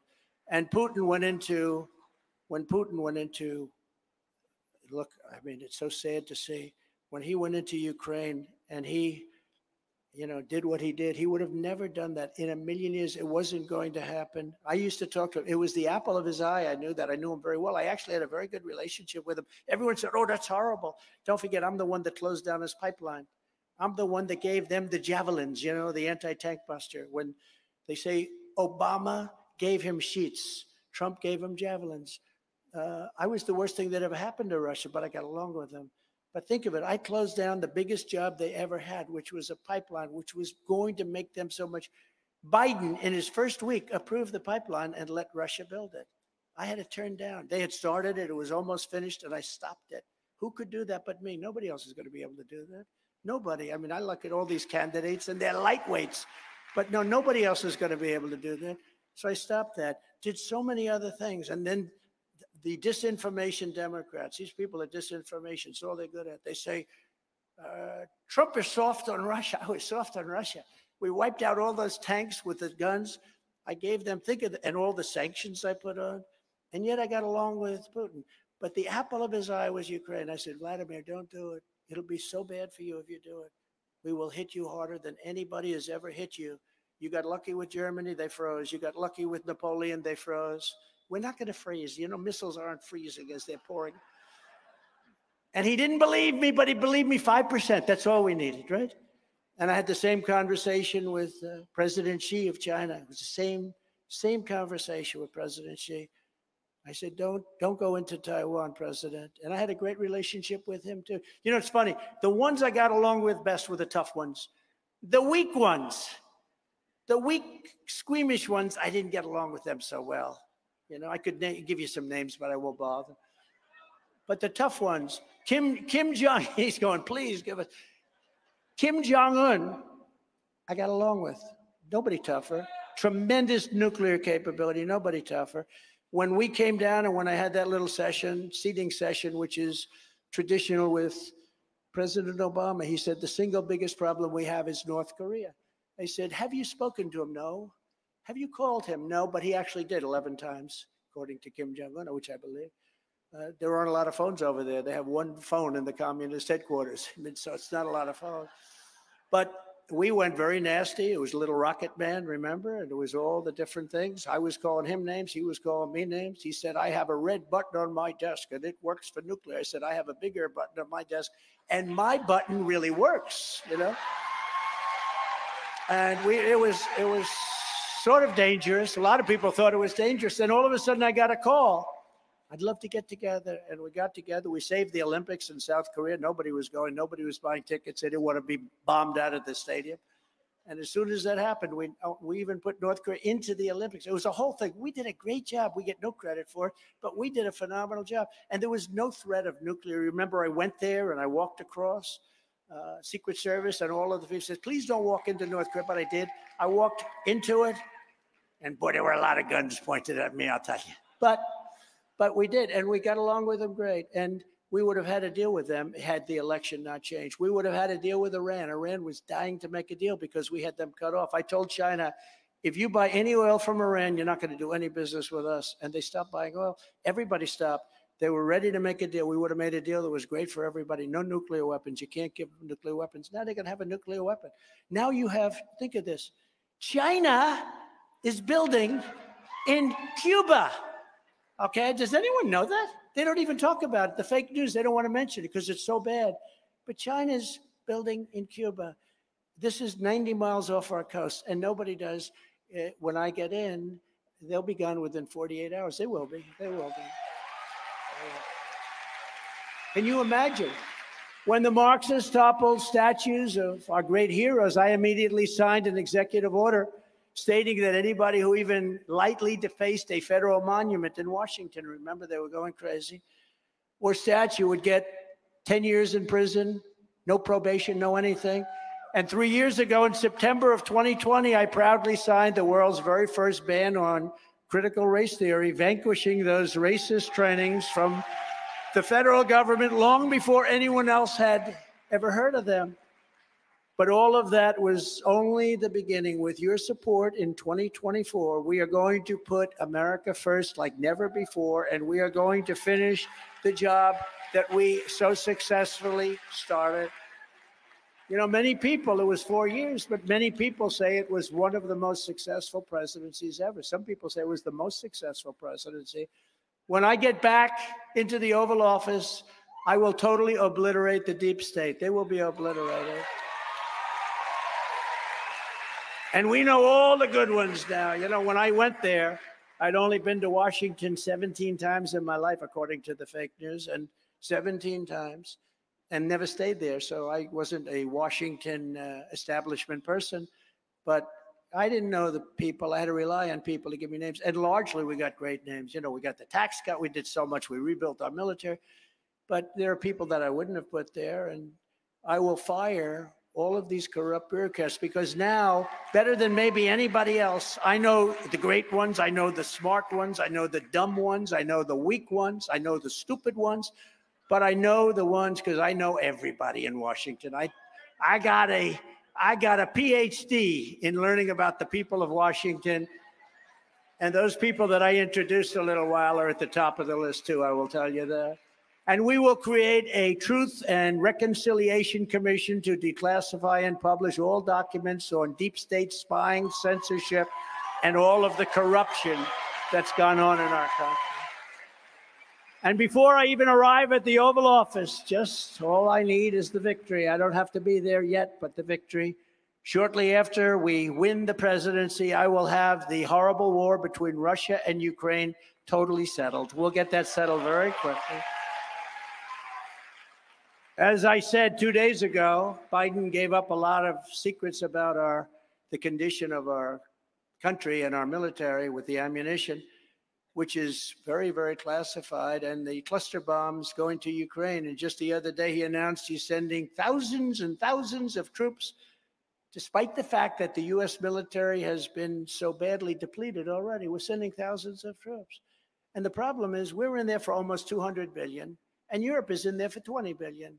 Now, Europe is the same size as us approximately. If you add all the countries, they're approximately the same size as us, as the United States. And why aren't they paying the same amount or more?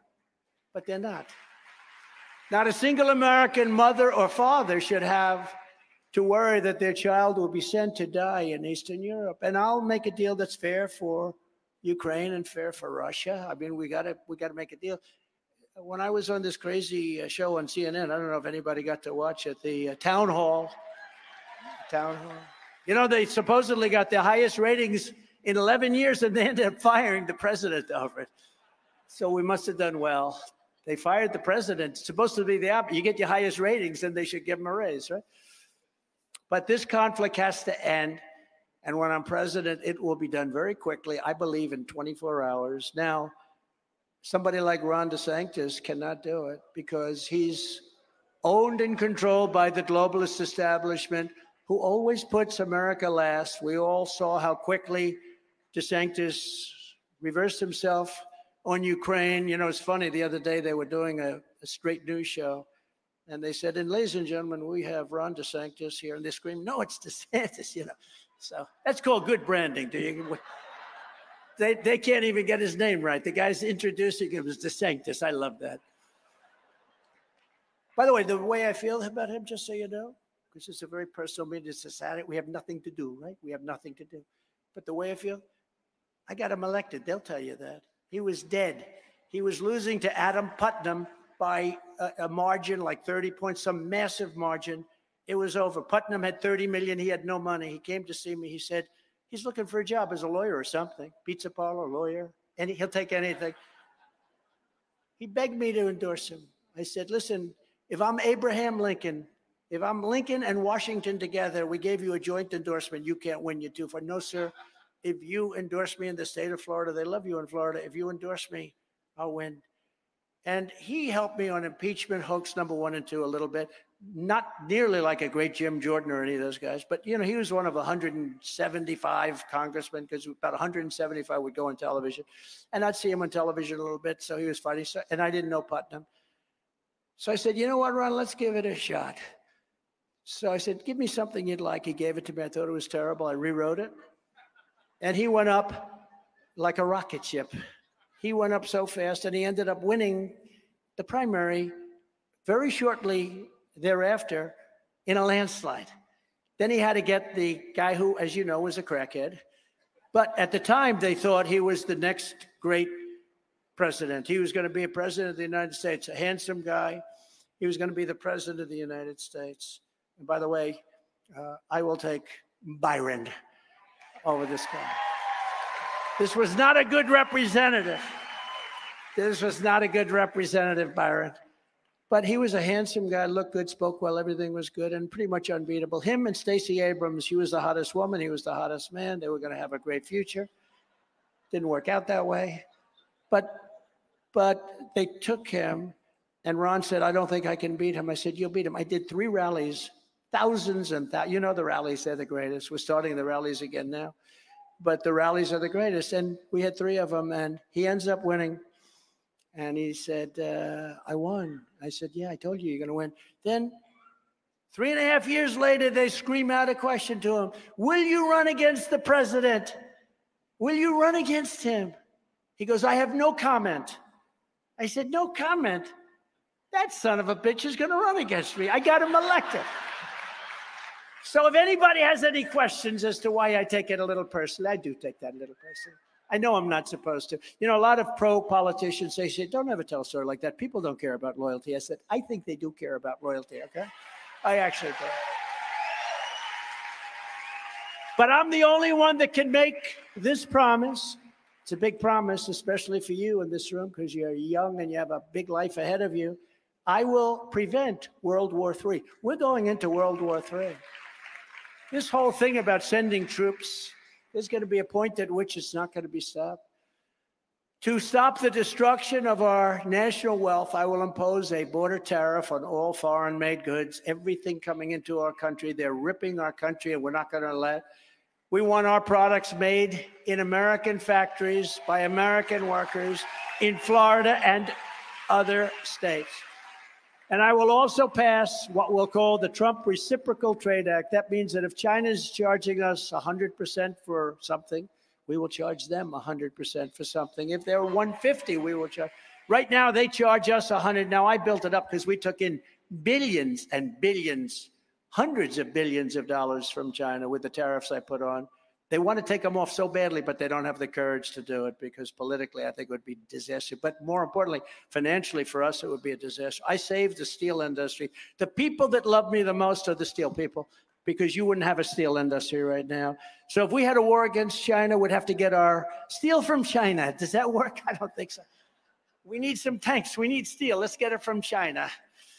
No, we, we saved the steel industry. We will gain total independence from China and we will hold the Chinese Communist Party accountable for unleashing the China virus upon the world. We will do that in some form, in some form.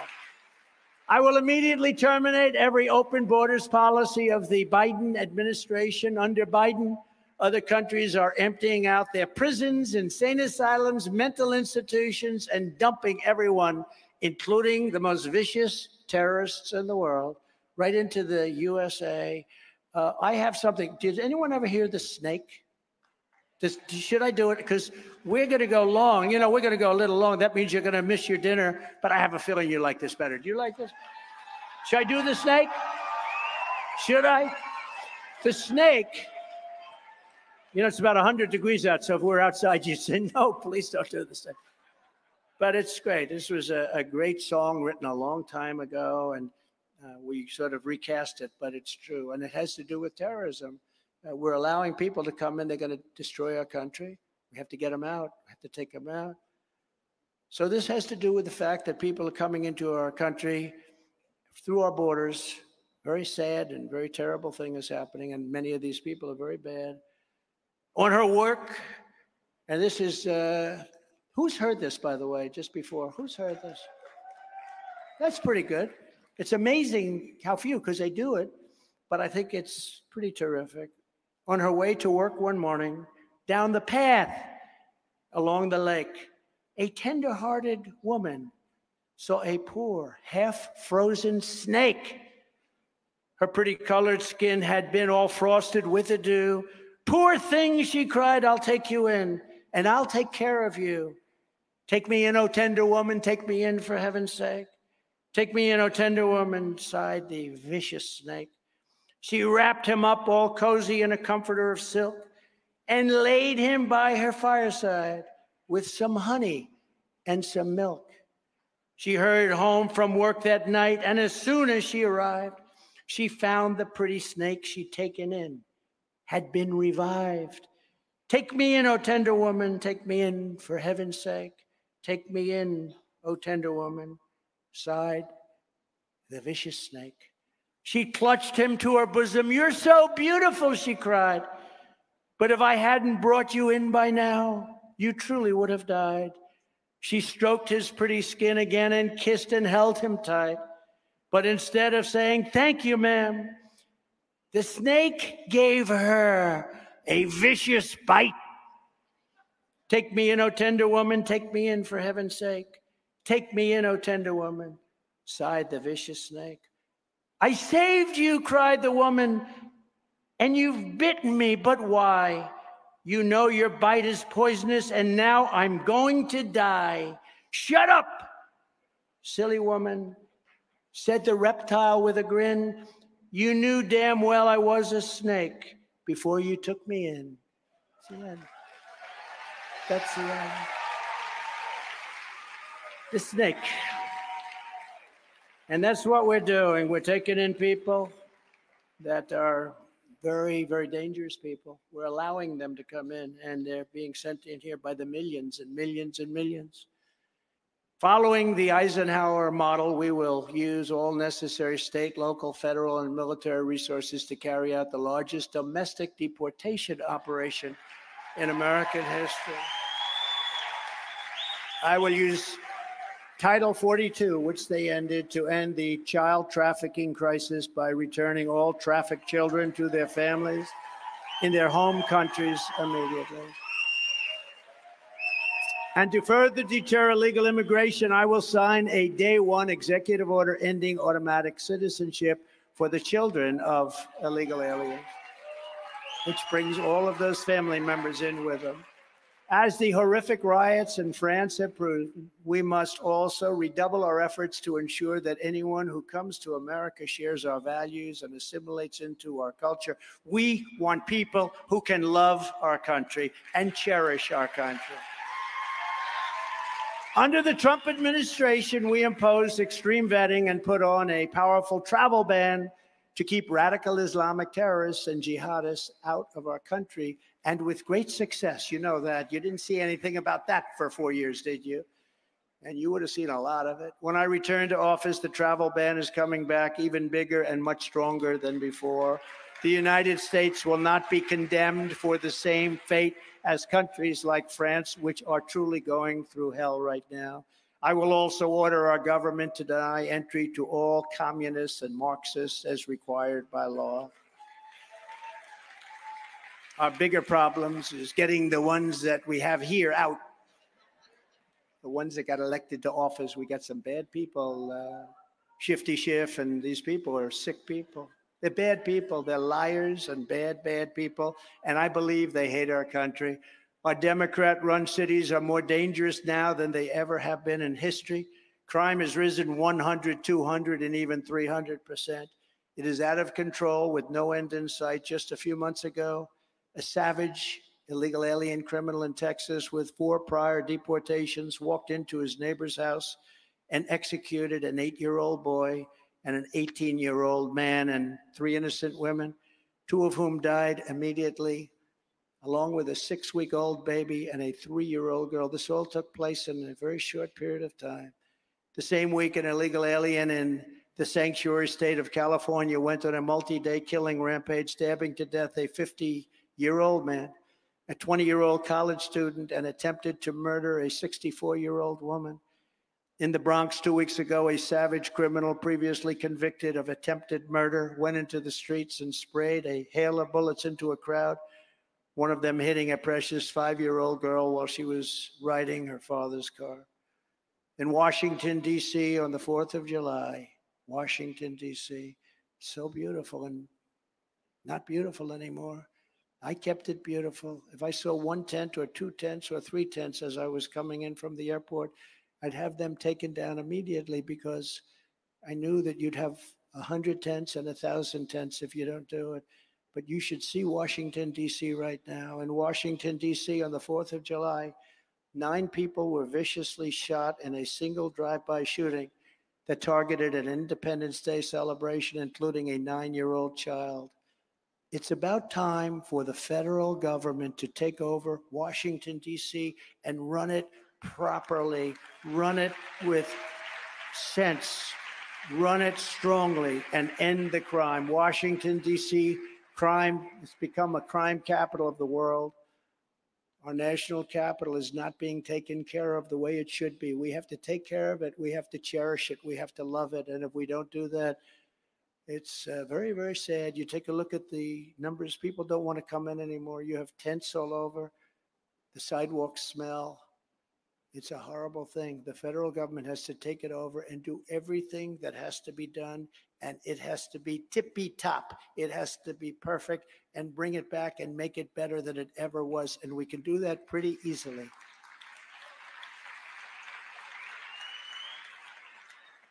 Because the people that are running it don't have a clue, or they do have a clue and they don't want to see it good, but it is really bad to stop the Marxist prosecutors who release rapists and murderers while prosecuting and persecuting conservatives, Republicans, and others. I will direct a completely overhauled DOJ to investigate every radical district attorney and attorney general in America for their illegal, racist, and reverse enforcement of the law. To combat the scourge of homelessness that is plaguing Democrat run cities, I will use every possible authority to get the homeless, drug addicted, and dangerously deranged people off the streets and will get them medical care. But we can't have what's happening in San Francisco and Los Angeles and New York and Chicago and every other Democrat run city. In all cases, they're Democrat run. The liberal policies that indulge these social maladies are not compassionate at all. They're an insult to law abiding, hardworking citizens who are living in danger. They're living in danger. People that love their country and they can't believe what's happening. They can't walk down the street. Atlanta, Atlanta, you can't walk down the street for a loaf of bread. You'll end up being shot. But then they come after me for a perfect phone call. You believe it? I make a perfect call. I have lawyers on the other end of the phone on the other side. Nobody said, oh, it's inappropriate. I only talk appropriate. I know how to talk. And I have a perfect phone call. They said, Well, was he pushing the election? No, I was complaining about a rigged election. Very simple. And the other lawyers on the phone representing the state and the Secretary of State, if I said anything wrong, they would have said, uh, We don't like what you said. How dare you say? No, they didn't say that. In fact, we set up another call for the next day. But now I understand that they're looking at that call. Think of it. You got murderers all over Atlanta. Nobody can walk out and they come after me. Remember the perfect call I made with Ukraine, the president of Ukraine, Zelensky. That's why I mean I respect him because he could have grandstanded and said, Oh, I felt threatened. He didn't feel threatened because it was a perfect call. Fortunately, we had it taped. This is even more perfect. But they want to do anything because they're sick, deranged people. And I don't think the people of the country will stand for it. On day one, I will sign a new executive order to cut federal funding for any school pushing critical race theory, transgender insanity, and other inappropriate racial, sexual, or political content on our children. We want great schools to lead to great jobs and to great lives and great success. I will keep men out of women's sports. How ridiculous. How ridiculous. How ridiculous. And I will sign a law prohibiting child sexual mutilation in all 50 states. Could you imagine 15 years ago having somebody stand up here and say, We will stop child mutilation? Who would ever think of this? Our country is sick. The world is sick, frankly. And I will restore the Trump ban on transgender in the military. I had it stopped, totally stopped, and they approved it. I will not give one penny to any school that has to.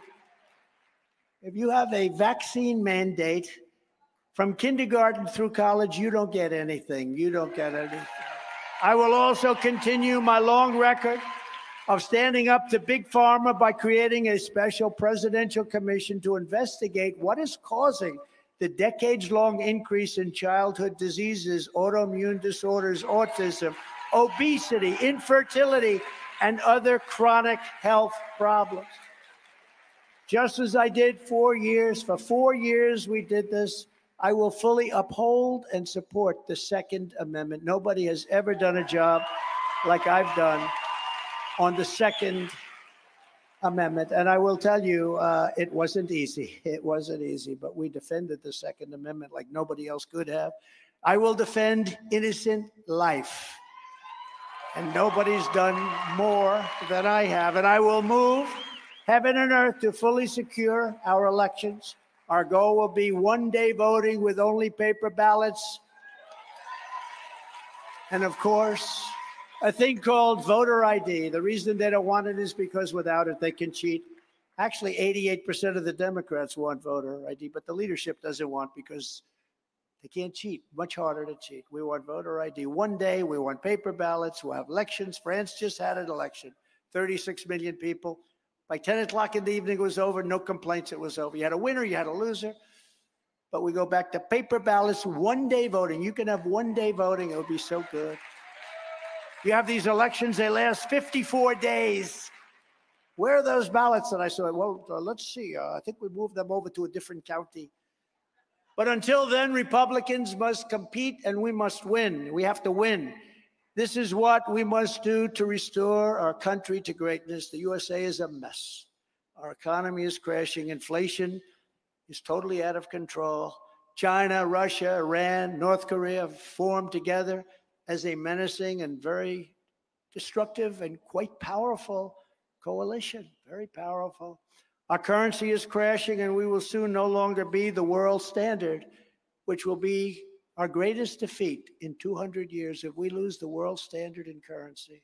That would be unthinkable. Couldn't have happened three years ago, couldn't have even happened. But it won't happen with me, not even a chance, just like Russia would never have invaded Ukraine. Never, never, ever. And by the way, they didn't. You know, a lot of Democrats even say, I got to say, Trump kept them. They didn't. They didn't even come close. They would have never done it. And China would not have even thought about raiding Taiwan.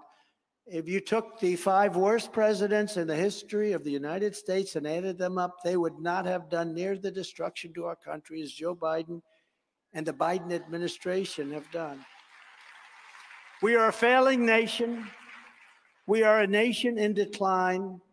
And now these radical left lunatics want to interfere with our elections by using law enforcement. It's totally corrupt, and we won't let it happen. 2024 is our final battle. With you at my side, we will demolish the deep state. We will expel the warmongers. From our government, we will drive out the globalists. We will cast out the communists, Marxists, fascists. We will throw off the sick political class that hates our country. And we will rout the fake news media. We will defeat crooked Joe Biden and we will drain the swamp once and for all. We made a lot of progress, but it's pretty deep. And in closing, the great silent majority is rising like never before. And under our leadership, the forgotten man and woman will be forgotten no longer.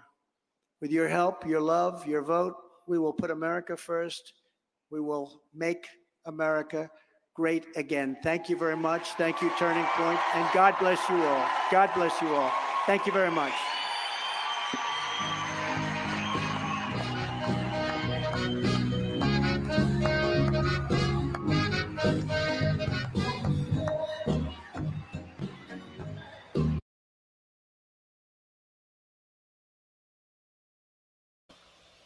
Wow. What did you guys all think of that? He was very verbose tonight. Yes, he was. There's a few things I picked up on. Diamond, did you pick up on anything?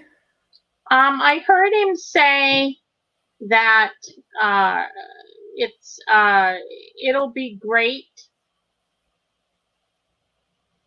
Um, I don't think he said soon, but coming up. I said I think he said coming up. It will be great. So I picked up on that one. No, this isn't the first time I've heard him say it, but um, Hillary's, she's gone. He said that. She's gone. Getting rid of that. You got to give Crooked to Joe now because she's gone. Yeah. Um, he mentioned about evicting again Joe Biden from the White House. Don't you have to own something to be evicted?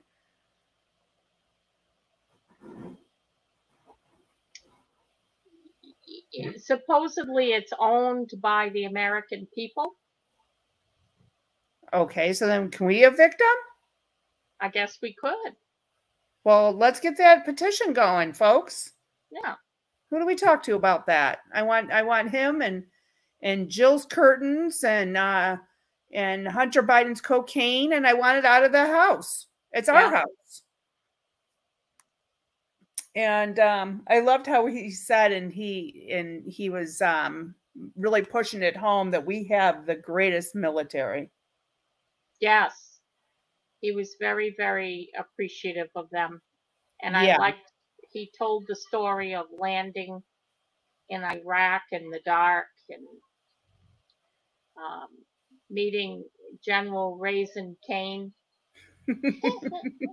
Raising Caine. What other president has ever, has any other president that you guys know of, has flown over to a battle zone?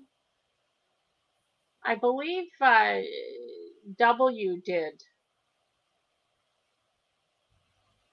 Oh, did he? Yeah, I believe he did.